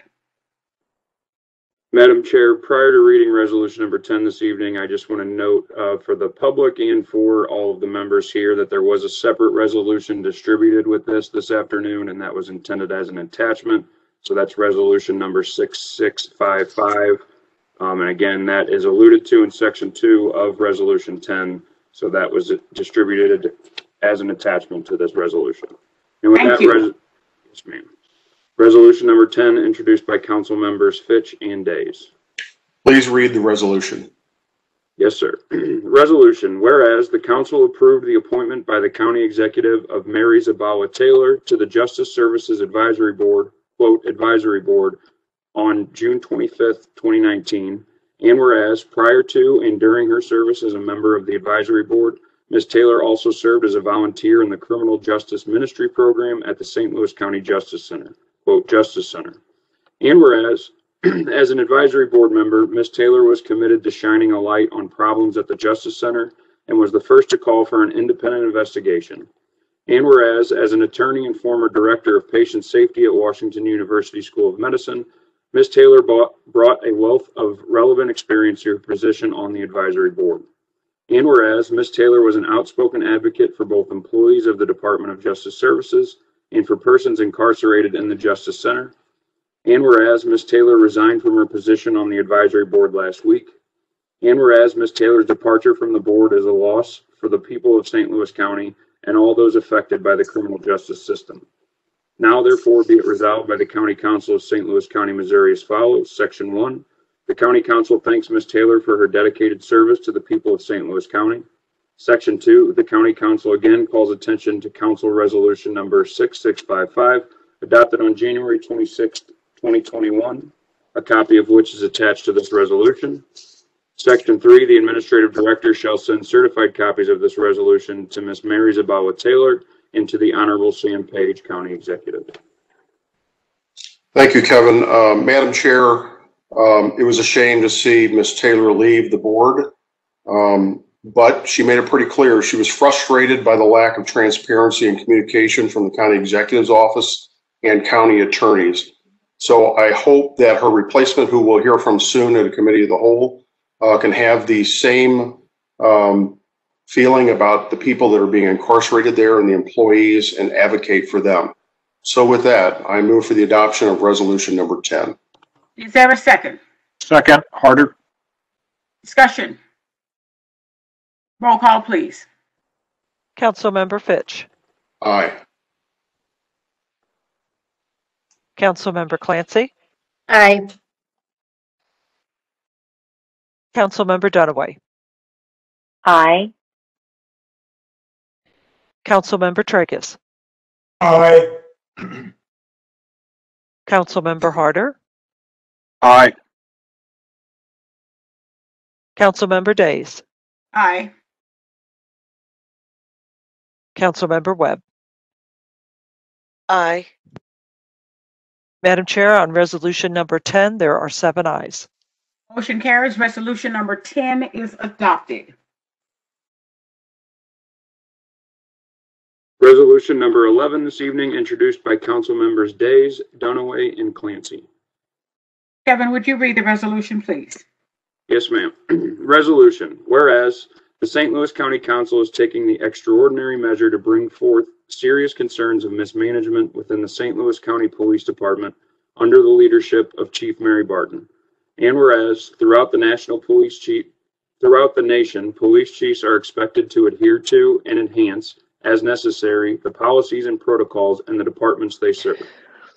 And whereas, from the beginning of her service as chief, Mary Barton has fumbled her way through the position of chief with a blatant disregard for normal behavior in a community that has been torn apart due to racial tension, economic inequity, and overall mistrust of police officers and a lack of community engagement to build bridges.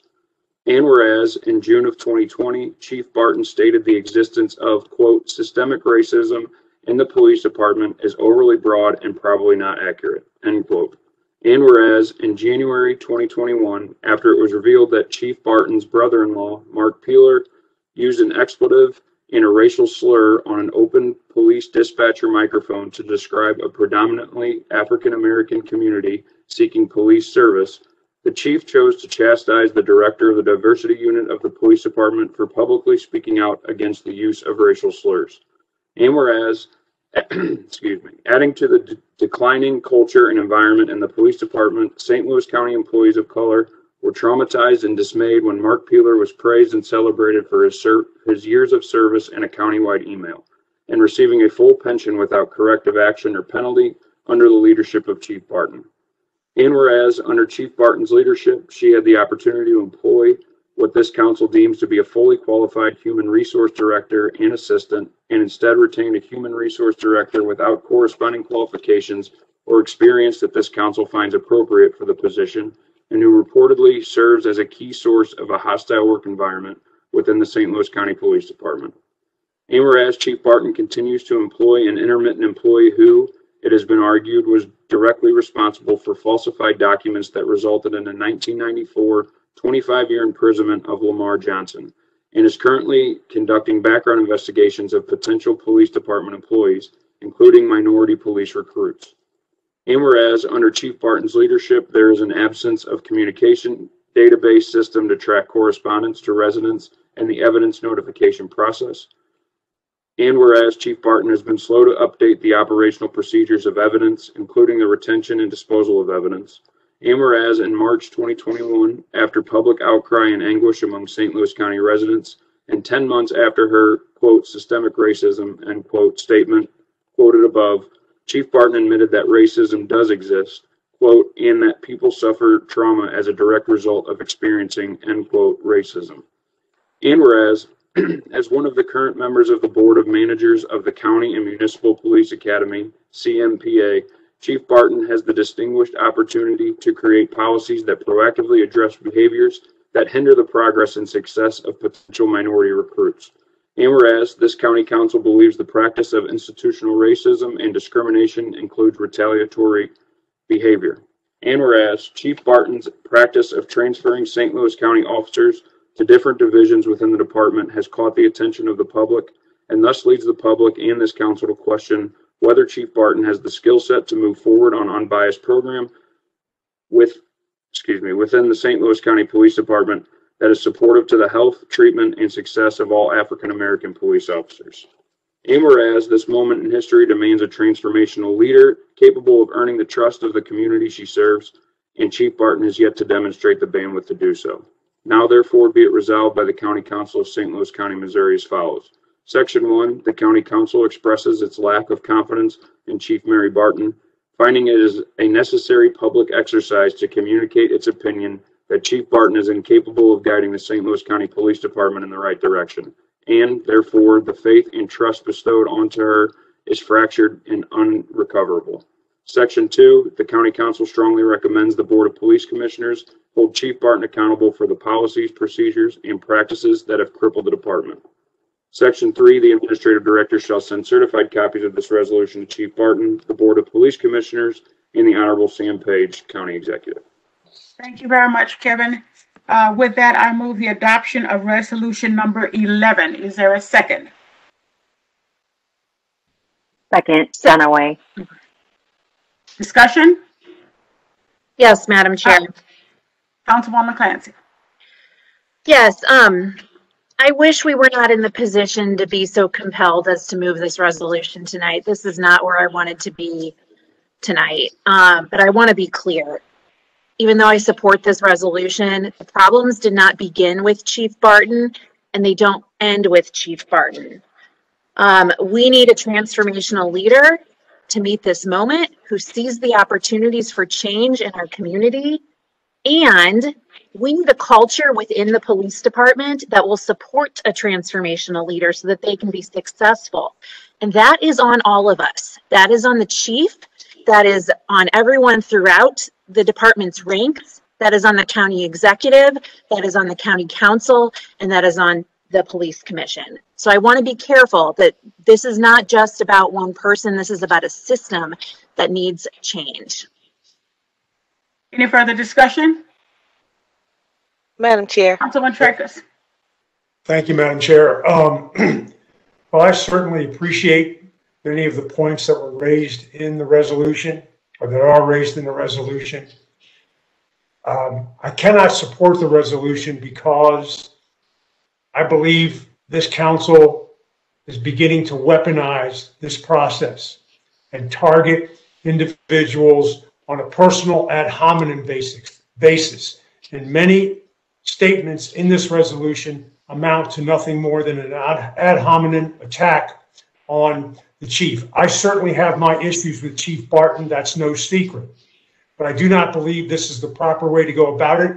I do agree with Councilwoman Clancy that Chief Barton inherited problems that have been existent in the in the department for decades. So it's you cannot place all this on her. But my biggest problem is the weaponization of this process. And for that reason, Madam Chair, I cannot support the resolution. Thank you. Thank you, Councilwoman Webb. Yes, Madam Chair, and it's quite a bit to take in. And, and I listen to my other colleagues and I respect their inputs. And I stand in agreement with a lot of the lot of what they've shared. But we have to have accountability. And yes, this does not all lay at the feet of Chief Barton. We always say the buck stop with the head, right? And so if no one else is going to provide accountability, then we must let our leaders know that we are serious about accountability and change. And so you all have to bear with me because I want to share this because I'm learning and Just excuse me. Just a few days ago, within the span of 28 hours, there were 12 shootings in this region. There was an actual shooting of a customer at a Popeyes. There has been a triple ho- homicide on Long Ridge Trail, and we all remember Miss Rosie's story. Armed carjackings at convenience stores from Parker in 367, rolling shootouts on 170 in West Florissant, and we all can go on and on. And now in our nation, there's another unarmed black man that has been shot, and the nation is on edge. That puts this community even more at edge, on edge. As a council, we should be making sure that the people of St. Louis County are safe and given, and we are giving our police department the necessary tools to be successful. Sadly, we have been spending more time talking about mistreatment of minorities officers.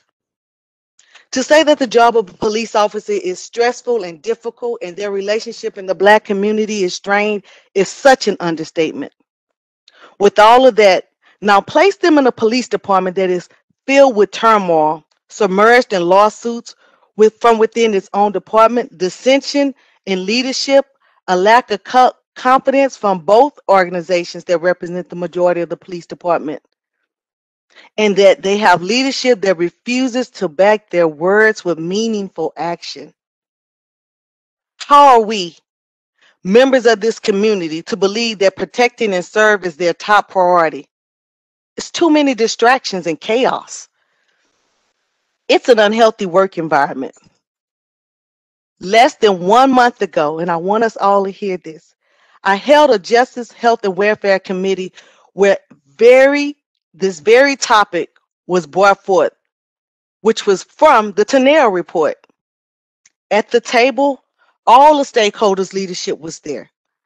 The county police department chief, the deputy chief, the human resource director, the fraternal order of police, Lieutenant Colonel, Colonel Troy Doyle, and Officer Shanette Hall as the leader representation of the Ethical Society of Police.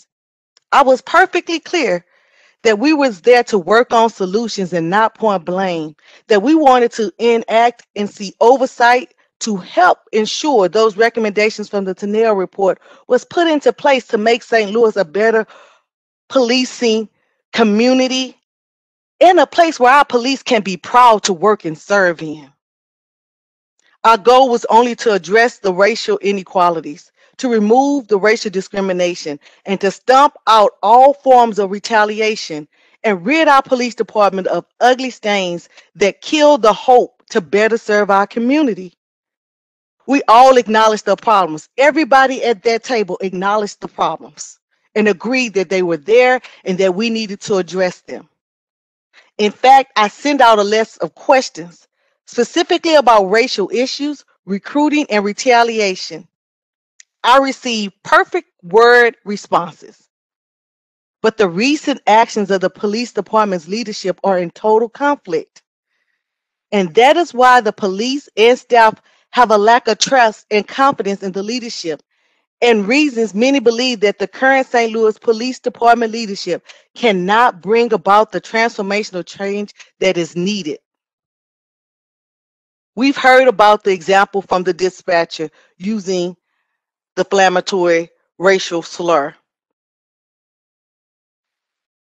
Now we have another situation with an officer who's gone above and beyond to help change the image of the police department in serving as a recruiter.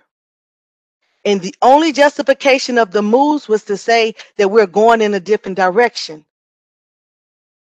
What other direction are we trying to go into when we're saying we're trying to address racial equality, recruit more minorities, and then we make a decision to remove a person that's doing that job exceptionally from what I've heard? Because I've talked to current police officers, I've talked to former uh, leadership in the in the county police department from all aspects and diversity that support this officer. I commend Officer Hall for her work of diversity in the department and her pa- passion and her tenacity and strength to speak up when it's not in good favor, but to tell the truth and be transparent. That's what we all say we want.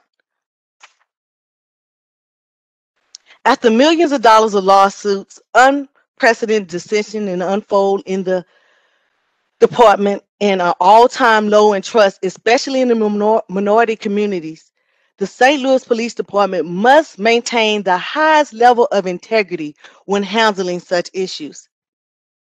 We must be transparent. The leadership of the department directly impacts how our communities are served and protected.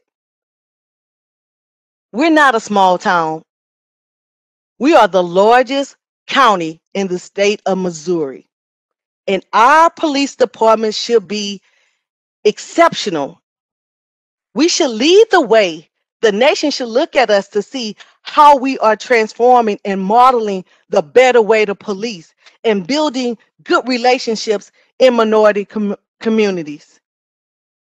Like my colleague said, I don't place this all at the feet of Chief Barton. I believe she was put in a place of leadership with not the support to be successful. And I put that at the foot of the police, the Board of Police Commissioners and our county executive. I'm often asked, what can I do to help? What do you need, Shalonda? Dr. Page, I need you to use your center of influ- influence to help transform and improve the St. Louis County Police Department. I'm being very clear and open with everybody. Status quo is not accepted. We should not allow it. And like any other profession, from my company and any others, when there are problems and they're symptom systematic and they are not being resolved, you have to start with the head. Thank you, Madam Chair. And with those words, I would like to be added to as a co-sponsor of this legislation, this resolution, and I will be supporting it. Any further discussion? Councilman Fitch. Thank you, Madam Chair. And I do appreciate the comments from Councilwoman Webb. And I think a lot of those are, are well taken. But I want to take everybody back just shortly um, to about a year ago when the five members of the Board of Police Commissioners unanimously voted to select Chief Barton as the next police chief for St. Louis County. Shortly thereafter, can you imagine starting your career when you're you're chosen for such a high level position and shortly thereafter one of your bosses, in this case the county executive says, "She wasn't my choice. I wanted someone else." She wasn't my choice. I wanted someone else. That's how you start your new job. So when you talk about how someone has to start their new job and starting at the head of the snake, the head of the snake is the county executive. He's the one that appoints the board of police commissioners. And everything starts with him. And when it comes, I agree with Councilman Trakas about weaponizing some of this process. That's absolutely true. I don't have a written speech. I can go through each paragraph in this resolution and tell you how there are so many factual inaccuracies. Uh, that would extend this, extend this conversation quite long. But what I will tell you is, I've known Chief Barton for, I don't know, 30, 35 years. And what I can tell you about her is she's one of the most ethical people that I know. She only knows right and wrong.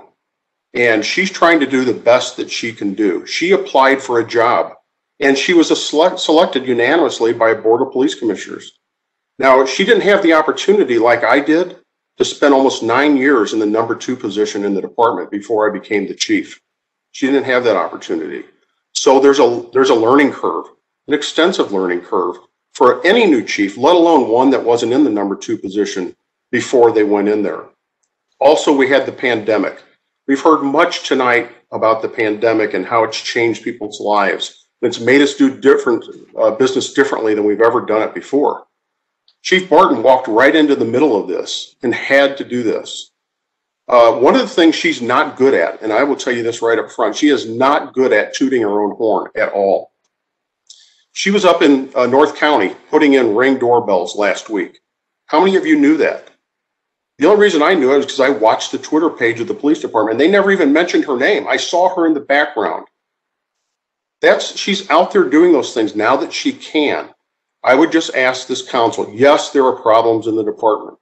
And absolutely, they've been going on for decades. There's no, no, no doubt about that. Even on my watch, even on my watch. And I will tell you that it's a process that we have to fix. We have to move forward. We have to show our citizens uh, that we're doing the right thing for them. But more importantly, we have to show those men and women that are out there every day doing this job that we support them, that we support them doing this job. And they're more and more, the morale is like I've never seen it before. I saw it today in the communication center. Even though they're doing a great job every day, the morale is horrible. And it's not just in the county police department. I still do accreditation assessments around the country. This is systemic in law enforcement and in this country. There's no doubt about that. I don't know at this point, it's going to take a while to work our way out of this, but having a tax uh, on a brand new police chief with a steep learning curve, I don't think that's the way to go. The way to go is to offer uh, constructive criticism instead of attacks. And that's certainly something that I will offer to the chief if she ever, if she asks for it.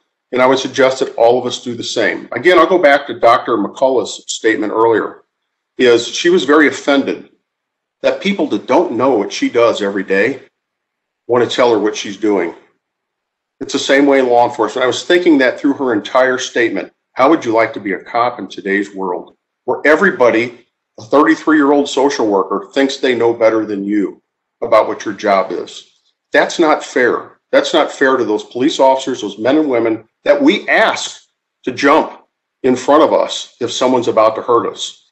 They are certainly open and deserve some criticism, no doubt about it. But they need to know the community supports them. And by voting no on this resolution tonight, I want to make it very clear that I support the men and women that are out there doing this job every day. So thank you, Madam Chair. Thank you. Any further discussion? Councilman Harder?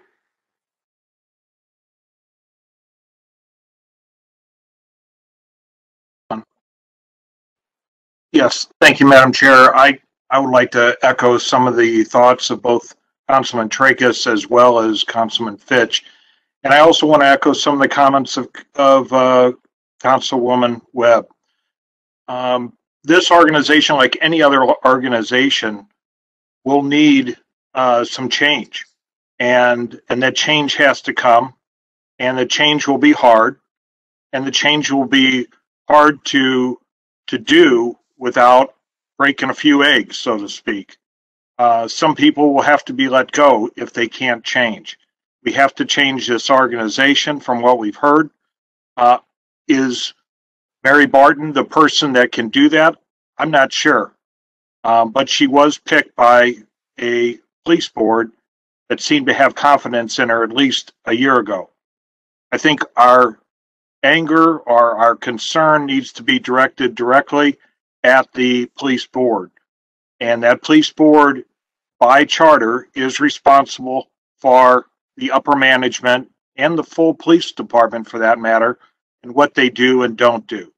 And we need to be in communication with that police board now that they have a new member and let them know our dissatisfaction with not just the chief, but in leadership if that's the problem. But we can't pick on the folks on the street.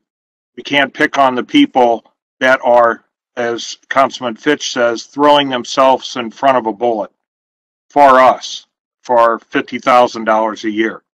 That can't be the argument here. Whether we like uh, Chief Barton or not, um, that's got to be separate from this whole thing. And um, and some of the allegations that have been tossed around and and and said either written or outside of this conversation, many times are not uh, not very truthful and can be weaponized at the wrong time. So I think we should give her some grace, but at the same time, we need to be uh, uh, making sure all the leadership of the full police department is doing what they're supposed to do. And if not, they need to be replaced. That's my comment. Thank you. Thank you very much. Any further discussion? Thank you all very much. I'm sorry. Madam Chair, I just want, I feel like I definitely want to make a clarification. So it's not a personal I know your work is passionate when you do your job and people come to you and they say it's not personal, it's your job. But like you spoke highly of her, Councilman Fitch and Harder, I have met Chief Barton. We've had conversations. Uh, I was the councilwoman. She came to meet at Council Point when they was putting out the ring doorbells, and she joined me to disseminate those ring doorbells. Appreciate that. My concern is, yes, we want to extend grace, and yes, there are learning curves, but can we afford as St. Louis County? Can our residents afford that learning curve? I wish that those who selected Chief Barton, those who advocated for her, would have put a put in place an incubation and support system around her to help her be successful. From her from recommendations for the the the, the HR director and all other the all other leaderships, but that wasn't done, and that I believe left her out there fending alone. But you have a situation now that the two main organizations within the police department cannot focus and do their job and trust the mission and execute based on the leadership. And I know I talk to leaders that says policing is like a, a semi military operation with the command structure and decision. No commander is allowed to lead their sho- shoulders soldiers out there fending for themselves.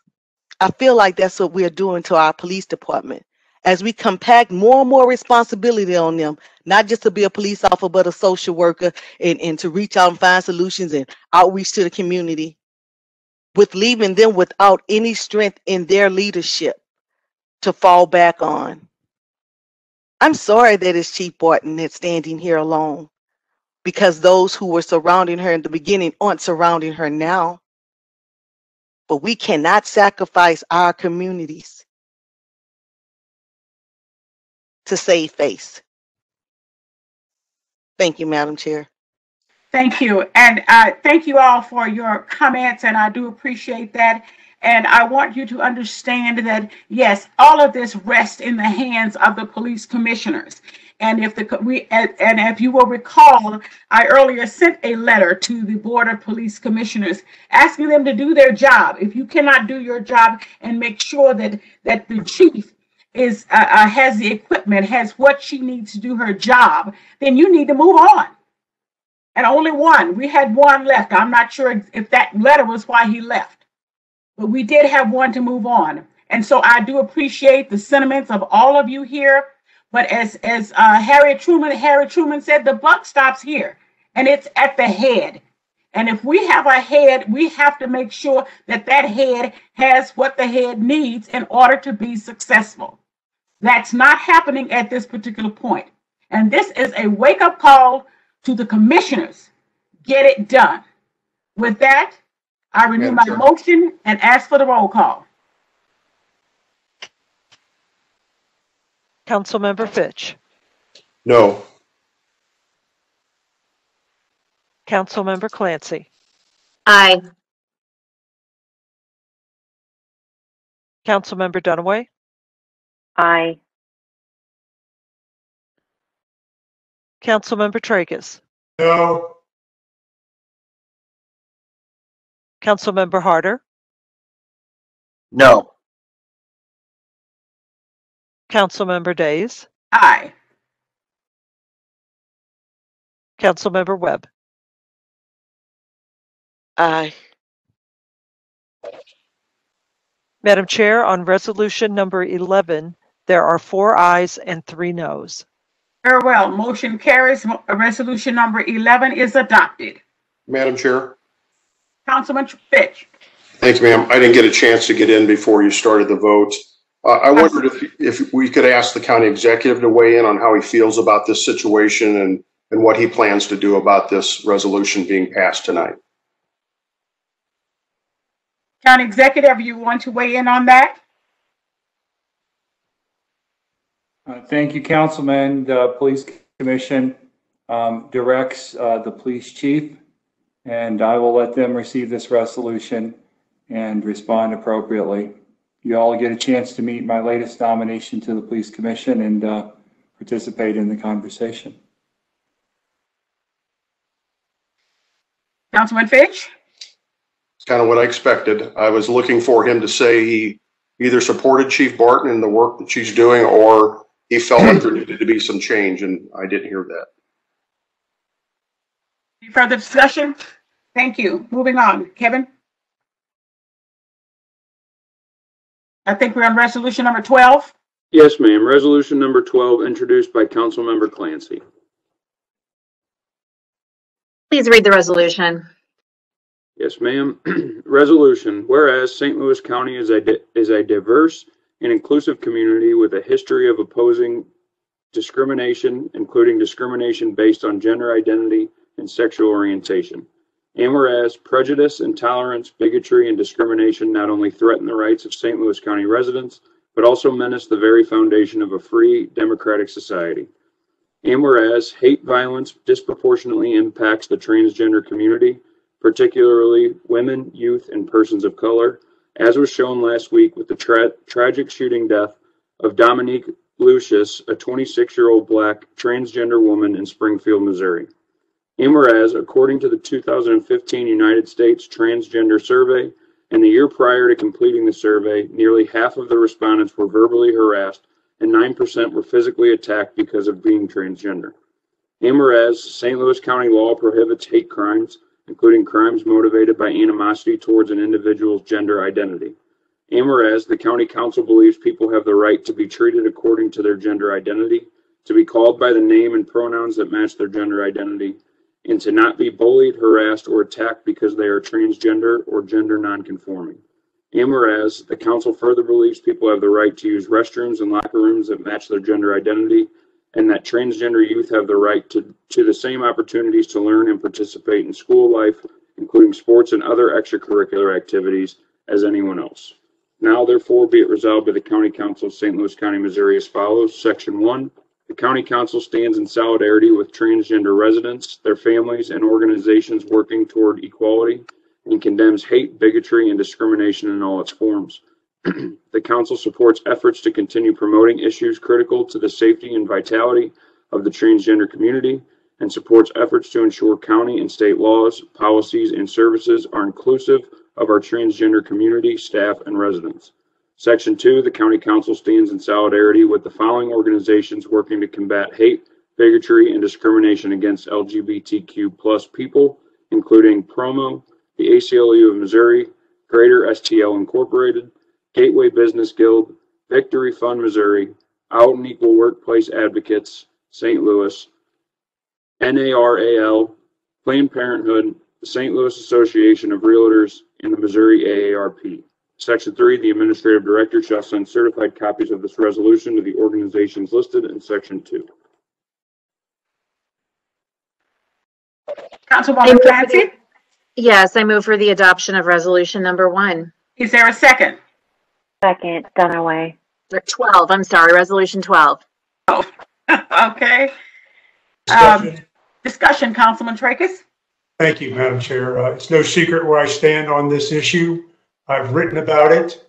Um, This resolution, together with other initiatives on this agenda, um, present a coordinated effort and agenda that presents a real and present threat to aspects of the First Amendment of the U.S. Constitution, which I will speak to momentarily in unfinished business. But I want the public to become aware of this issue um, because it's not as simple as placed in this resolution. There are ample protections currently in county law as well as state and federal law um, regarding the uh, discrimination mentioned in this resolution. But I will speak more uh, in depth in a moment, Madam Chair. Thank you for the opportunity. I will be opposing this resolution. Any further discussion? Any Madam further Chair. discussion? Councilman Fitch? Thank you. I agree with Councilman Trakas. Uh, but I do have a question for Councilwoman Clancy, the sponsor. In section two, uh, the county council stands in solidarity with the following organizations. Uh, I know all the acronyms of except for NARAL. What is that one? Um, NARAL is an organization, it actually doesn't stand for anything more. They are anything anymore. They used to have an acronym and now they are NARAL Pro Choice Missouri. Um, they do similar work as Planned Parenthood. So is it a abortion provider? Is that what this is? What NARAL is? Yes. I know, I'm asking you. No, I they don't do know. not. No, they do not provide abortions. They advocate for reproductive justice and freedom. Okay. They advocate for the right to an abortion, correct? Councilman is Trakas, correct. one second. Thank you, Councilman Councilman Fitch, Trakas. you I was have the gonna- floor. Thank you. I was going to ask that question. So they do. Um, you heard Councilman Trakas's uh, response. That's true. Councilman, Yes, and they were the more so though they they advocate for the the respect and dignity of all residents of the state of Missouri um, in healthcare and in many other areas as well, which is what brings them um, into connection with this issue. okay, thank you. Thank you, Madam Chair. Councilman Fitch, you done? Councilman Trakas. Nothing further, Madam Chair. Thank you. Okay, Councilman Harder. Thank you, Madam Chair. Um, You know, if, if this resolution would have stopped at about paragraph four, uh, I would be in support of this. I've always said I'm against any kind of discrimination. But when you start bringing in uh, different bathrooms, you start uh, aligning with uh, abortion providers and others, uh, you're not winning my vote, unfortunately. And um, I, I've always been against discrimination of any form. But when you start building a case for these other things and trying to align this vote as either you're against it or for it, uh, I'm going to have to be against it because this is not uh, this is not what I, I signed up for and and for what this how I express myself um, uh, better. But uh, this is not a a uh, a situation that should be yes or no when you put all these things in here. I think you could have streamlined this and got your same point across without bringing in these other groups and other issues. So I will be uh, opposing this. Thank you. Any further discussion?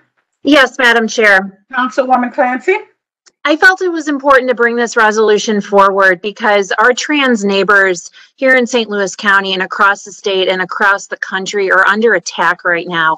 My only agenda is to ensure that every citizen of St. Louis County and beyond is treated with respect and dignity. We all deserve that.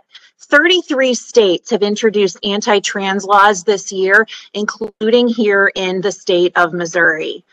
Um, and we owe it to our transgender neighbors, community members, and constituents to make our commitment to their safety and inclusion clear. Um, promo said it best transphobia, biphobia, and homophobia sit at the intersection of racism and misogyny and foster violence. If we are not working to end the societal violence um, that ended the lives of folks like Dominique and so many others, we are part of the problem. So it was important for me to bring this about um, on behalf of the trans community and the LGBTQ plus community this evening. Thank you. Any further discussion? Please call the roll. Councilmember Fitch. No. Councilmember Clancy. Aye. Councilmember Dunaway. Aye. Councilmember Trakas. No. Councilmember Harder. No. Councilmember Days. Aye. Councilmember Webb. Aye. Madam Chair, on resolution number 12, there are four ayes and three noes. Resolution number 12 12. is adopted. Yes, ma'am. Apologies, Madam Chair. Here we go. Okay, our final resolution this evening, resolution number thirteen, introduced by Council Member Webb.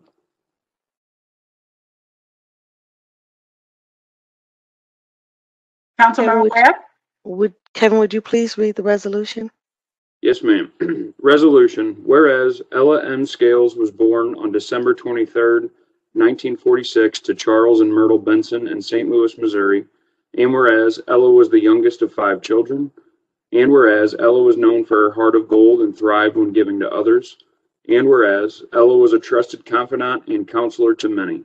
And whereas Ella was the owner of Ella's Lounge and Restaurant for many years and was later employed by Elaine Stevens Beauty College, where she enjoyed working in the dispensary and interacting with students.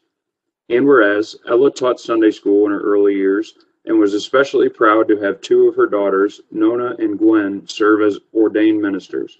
And whereas Ella was a loving and cherished mother, grandmother, great grandmother, aunt, godmother, and friend to many. And whereas it is appropriate for the county council and all St. Louis Countyans to pause and recognize a life well lived that has positively impacted so many in her community. Now therefore be it resolved by the County Council of St. Louis County, Missouri as follows. The County Council offers its deepest condolences to the family and friends of Miss Ella Scales. Section two, the Administrative Director shall send a certified copy of this resolution to Miss Scales' family as a permanent token of the council's sincere condolences and recognition of a life well lived. Thank you, Kevin. Madam Chair, I move for the adoption of this resolution. Is there a second? Second, Clancy. Discussion. Roll call, please. Excuse me. Councilmember Fitch. Aye. Councilmember Clancy. Aye. Councilmember Dunaway. Aye. Councilmember Trakas. Aye. Councilmember Harder. Aye. Councilmember Days. Aye. Councilmember Webb. Aye. Madam Chair, on resolution number 13, there are seven ayes. Resolution number 17 is adopted. Moving on to unfinished business. Item number one. Please hold on the order of business, and that will be the order. Item number two. Uh, please hold on the order of business. Same motion to number three, and that will be the order. Item number four.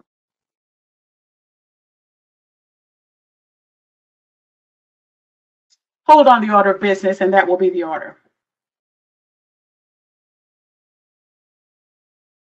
Thank you, Madam Chair. Madam Chair, Councilman Trakas.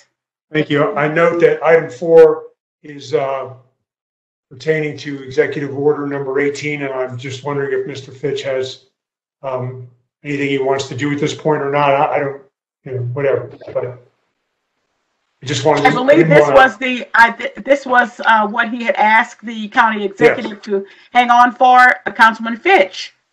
Thank you. Are you ready to go to number four? Well, it, I have held it on the order of business, but we can rescind that if you want, or we can continue to do that. But if you have a question regarding that, Yes, ma'am. Uh, actually, a few. So we received the executive order from the county executive who said he's going to declare all of the public restrooms in St. Louis County uh, outside, I'm sorry, outside of the public area um, as uh, gender neutral. So my question for last week when the county executive wasn't here is I don't understand what you mean by a single stall restroom. Can you explain what your executive order declares? Single stall um, restroom, I would take it at base face value. It's a restroom with one stall. So in county government, uh, I think I saw a press release from your office that said there's about 300 of those. So there's 300 of those where it's a, a single, whether a toilet, let's say that, and maybe a sink. Uh, those, for the most part, are already gender neutral uh, because anybody can use them. Um, so I'm, I'm trying to understand what your executive order actually changes or does. The executive order changes the signs on single stall restrooms to just say restroom instead of indicating a gender. Does it require that the restrooms that you've now designated as gender neutral have locks on all of them? If you are aware of a wet restroom in county government that doesn't have a lock, please let us know. But all the restrooms in county governments, uh, government, according to our Department of Public Works, have locks on them. That was just a simple question. It wasn't adversarial, just asking the question. It's We a did very have- interesting question. We, for we did sure. have a caller last week who said um, that she uses the county restrooms in a park and there's no door at all on those. Uh, so this would not apply to those. Is that correct? I'm not aware of restrooms in county parks that don't have doors, but we can certainly investigate. Perhaps those are the old style outhouses, I am not sure.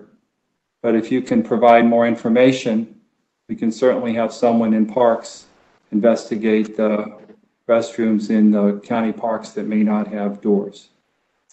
And I don't know, uh, I think she was from Afton, if I remember correctly. So it was one of the parks, I would guess, in that area. So Hmm. uh, those are all the questions I had, Madam Chair. Thank you. Thank you, Councilman Harder. Uh, just a point of clarification, uh, also to the county executive with this executive order. Does, uh, these single stall restrooms, from what I've seen in county government, tend to be in secure areas, such as the two that we have off of the library hallway. If someone enters one of our buildings and requests to use one of those, is there some, uh, accommodation going to be made to bring that person back into these secure areas, whether it's in your office or our office or any other office, to use those bathrooms? And what will be the procedure for that, either by building security or from uh, anyone that's entering our county buildings? I, I, I'm not sure how to answer your question, Councilman. I have an executive order that addresses signs on single stall bathrooms to make them gender neutral. It doesn't address uh, the other things that you're talking about as far as security and secure restrooms. So if someone enters at the street level of our building and wants to use one of those restrooms, how will they go about doing that? Someone will use the restroom. How would they know where it is or how, who will take them there to use that restroom? If someone wants to use a restroom in county government, then they will use the restroom. My executive order changes the signs on single stall restrooms to simply say restroom and not indicate a gender. It still doesn't answer the question. If someone walks in and if you're saying we should be hospit- hospitable to people to use these restrooms, we have to then take them to where these restrooms are so that they can use them. How is that done? Either through security or through receptionists or other county employees? How will that be done going forward? My executive order changes the sign on single stall restrooms to simply say restroom. If someone comes into a county building and asks to use the restroom, I'm sure that someone in county government will help them as, as anyone would try to accommodate someone who asks to use the restroom. This is a broken record, I guess, but so that person will then be escorted up to the library of our building in our office to use that gender neutral restroom, or will they be escorted to the hallway restroom and use that restroom? I'll depend They on feel uncomfortable using. government, employees and visitors to find their way to the restroom without help. If they need help, I'm sure they'll ask for it and someone will try to offer them some direction. My executive order changes the signs on single stall restrooms to simply say restroom and not say uh, a specific gender. So there was no thought into how we would accommodate people, even though you change the signs, which is a good, good political thing, but how do you actually put it into practice for those people to know where to go so they can feel most comfortable using those gender neutral bathrooms if you don't ever take anybody there? It's kind of a Well, empty perhaps, promise. Councilman, you can suggest a process or procedure to address your concerns, or you can follow up with your questions in writing, and we'll try and find a more specific plan for someone who has concerns about access to the restroom, a county employee or a visitor to our county. But my executive order changed the signs on single stall restrooms to simply say restroom and not indicate a gender. Uh, Councilman Trakas? Thank you, Madam Chair. Um, I don't have a question, more of a statement, and I appreciate the chair's indulgence. Um, this is an important issue for me. Um, the county executive's April 2nd, 2021 Executive Order 18 cannot be considered or viewed in isolation. It must be scrutinized in concert with other measures, not the least of which is resolution number 12 tonight, as well as sub-bill number one for bill number 77 and bill number 88. I wrote the county executive about this issue on February 22nd, 2021. My letter was sent in response and rebuttal to Councilwoman Clancy's February 19th, 2021 letter requesting that Dr. Page, quote, use his position and power as county executive to swiftly execute the necessary executive action to guarantee that all single stall restrooms in county government buildings are designated as gender neutral, close quote.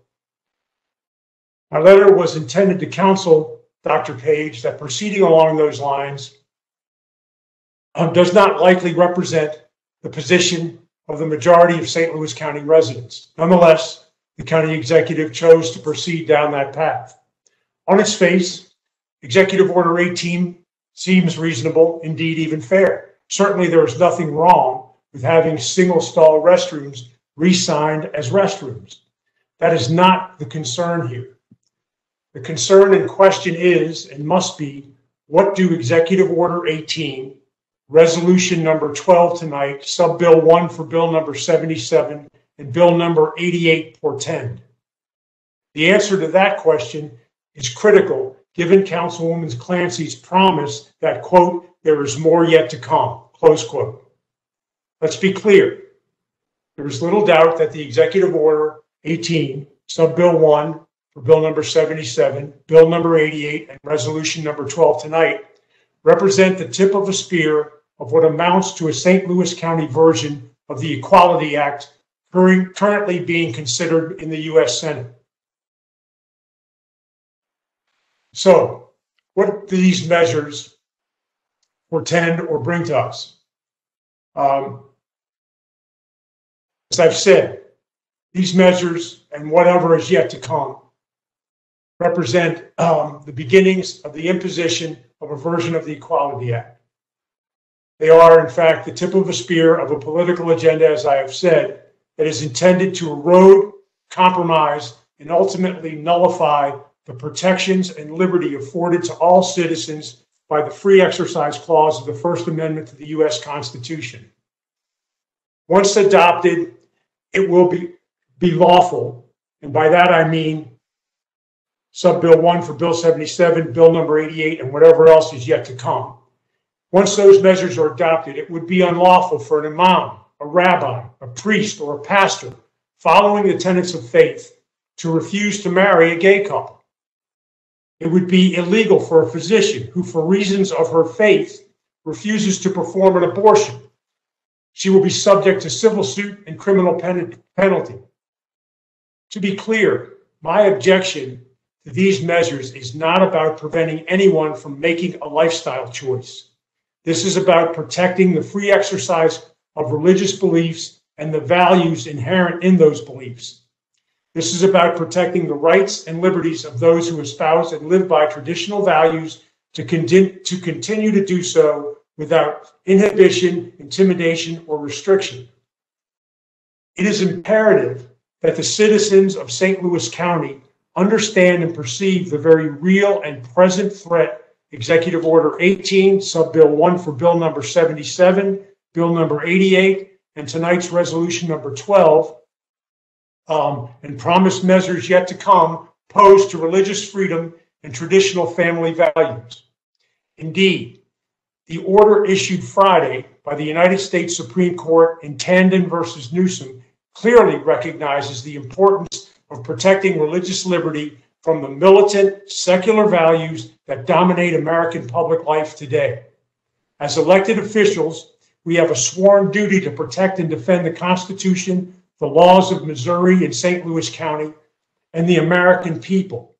Passive resistance and acquiescence is no longer an option for me, nor should it be for any of you. As these measures come to our consideration for a vote, I would hope that you would keep these tenets in mind before you willingly and, and blithely um, choose to support them. Thank you, Madam Chair, for your patience. That's Thank I have. you.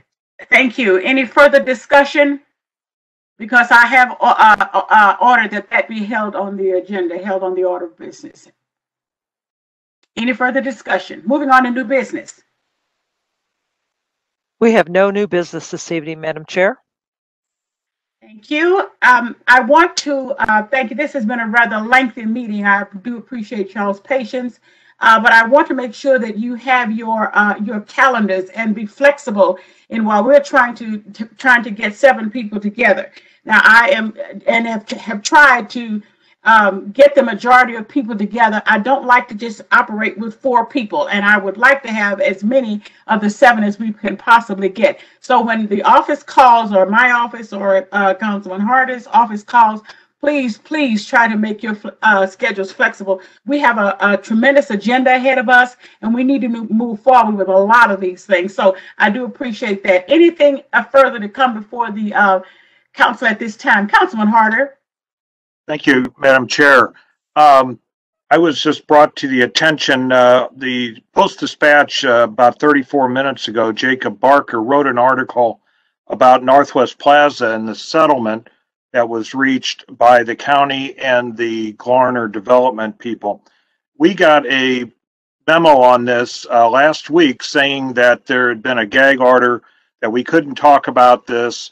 We, we couldn't talk about the settlement um, that uh, everything had to be referred to the, um, the legal department and to Miss Orwick. And now everything uh, brought about in the settlement is right here in the article. And on dollars, people, uh, times, the whole thing. Um, so do we have a mole in our organization that leaked all this, or was this purposely leaked? For some political reason. And when Mr. Trakas and us worked so hard on this project, and we asked for the whole or committee the whole to talk about this settlement, and then we find out about it in the Post Dispatch without even a an acknowledgement of the work that was done to put this uh, this uh, whole shenanigans to bed is just disconcerting, and um, I'm really upset about it and it it uh, it makes me pause and understanding the people we have wor- working for us in our legal department. That's my comment. Thank you. Uh, Beth Orwick called me and wanted a committee of the whole to discuss this. Uh, in that uh, communication, she did indicate that it was uh, not to be discussed outside of what we did at the committee of the whole. We have been trying to put that committee of the whole together. We could not get a quorum to do that. I'm not sure whether a Post Dispatch got their information, but that was my next. I I, I believe you. I'm not saying that it's not true, uh, but but I I wanted you to know that that was that is one of the committees that we were trying to get together. Uh, and so I can't speak to where that came from. I don't know if Ms. Orwick wants to weigh in on that or not. Um, Councilwoman Days, I did um, request a committee of the whole uh, because of the uh, settlement agreement that we have with um, the, uh, uh, that, that I wrote you about. It would be improper for me to discuss that in, as it is legal business outside of a committee of the whole, and I requested that closed session. That is why uh, I told the council about that. Um, I will say that settlement agreements are open for uh, pursuant to the sunshine law. So if there is a sunshine request, we, under the law, have to give um, a copy of that. So there was a sunshine request for a copy of the agreement, um, and so I have to do that. But no other comment came from my office other than the one that was agreed to, that was discussed um, in that communication to you. I still would like to have a committee of the whole to talk with the council about this and to give you the information that you need to understand the agreement. Well, clearly, and, and we are still planning to do that. However, uh, with the absence of uh, no information about Councilman Harder or Councilman Trakas's uh, efforts in trying to get that thing settled, I think that is uh, that's very disconcerting at this particular point. We will continue again. I need I need to make sure that we got at least four people here uh, so that we can have the committee of the whole. Uh, Councilman Trakas, I think I saw your hand. Oh, no, Madam Chair, the, the, the county councilor uh, touched on what I thought what's likely to have happened was that they sunshined it. That's, was just going to be an opinion of mine. Okay, and we are still planning, uh, uh, Beth, I am still planning to have the committee of the whole as soon as I get a quorum. I would have- Councilman, Councilman Harder. So I guess the next procedure, when we get these type of letters, that we're not, if we're not going to be informed of this, then our assistants need to uh, ask for a sunshine request from the government to tell us what's going on in the government. Is that the new procedure? Or do we wait until somebody at least schedules a hearing before they go to the media about, uh, about something internal like this? It's just ridiculous. Councilwoman, uh, I'm sorry, Beth, you wanted to respond? Councilwoman Days, I will only say that I did send that communication to the council because I did want to tell you what was going on and, and the way that I can do that and talk to you uh, together is in a committee of the whole in a closed session. And that is why I sent that communication to you. And that is my intent is to, to discuss that with you as you were requested. Councilwoman Clancy? Yes, are we not having a committee of the whole at three PM tomorrow? We were surveyed about that time, I believe, and it, that's not. Well, we might have been sur, we might have been surveyed, but I, I don't know if, if we were able to get a quorum with that. So Okay, I have don't not know able to that the- Right, so what we're doing is asking if these particular times are available and having, uh, significant challenges in getting a quorum. Uh, and, and I, I'm, I, I'm going to suggest some other things, but we'll get to that later. Councilman Fitch, I think I saw your hand. Thank you. Uh, so, Ms. Orwick, if you were sunshined for this information, well, you were, or else it wouldn't have gotten out. Um, why wouldn't you let us know that you were sunshine so you could tell us, hey, listen, just so you know, the media has asked for this information and we've released it to them. So we could know before, like Councilman Harder just found out from probably a constituent that it was posted online. Uh, why would you not let us know that? I would prefer to talk to you about this case and this settlement in a closed session of the committee of the whole. That is why I requested and told the council I would like to do that. I did communication with Councilwoman Days about setting up that committee of the whole. That is what I can say in this public forum. But a sunshine request would have come to your office to approve. Is that right for a settlement like this? I would prefer to discuss this in the committee of the whole. I can explain everything that I need to explain to you. And I don't think it's proper to discuss legal things in a public forum. I don't know if there's anything left to discuss in the committee of the whole, though, if it's all in the, in the paper already. I haven't seen what's in the post dispatch. I would like to have the dialogue with the council. If that, if the council does not like, does not want to have that dialogue, then that's the council's prerogative. I prerogative. think we need to do that at least to clear the air. Councilman Fitch. I do too. Okay. Um, any, any, any further discussion, any more announcements? Tax assessments, anybody? All right, uh, please make sure that you keep your calendars. I cannot ask you, uh, enough to please keep your calendars flexible so we can get these meetings scheduled. Thank you so much. Uh, is there any other, I'm sorry, Councilman? Tr- No, just thank you. Thank you. So, um, a motion to adjourn. So moved. Second. Second. All in favor, please say aye. Aye. Motion carries. We don't have any no's on that one. Thank you. All right. Take care. Good Have a night. good evening. Good night. Good night.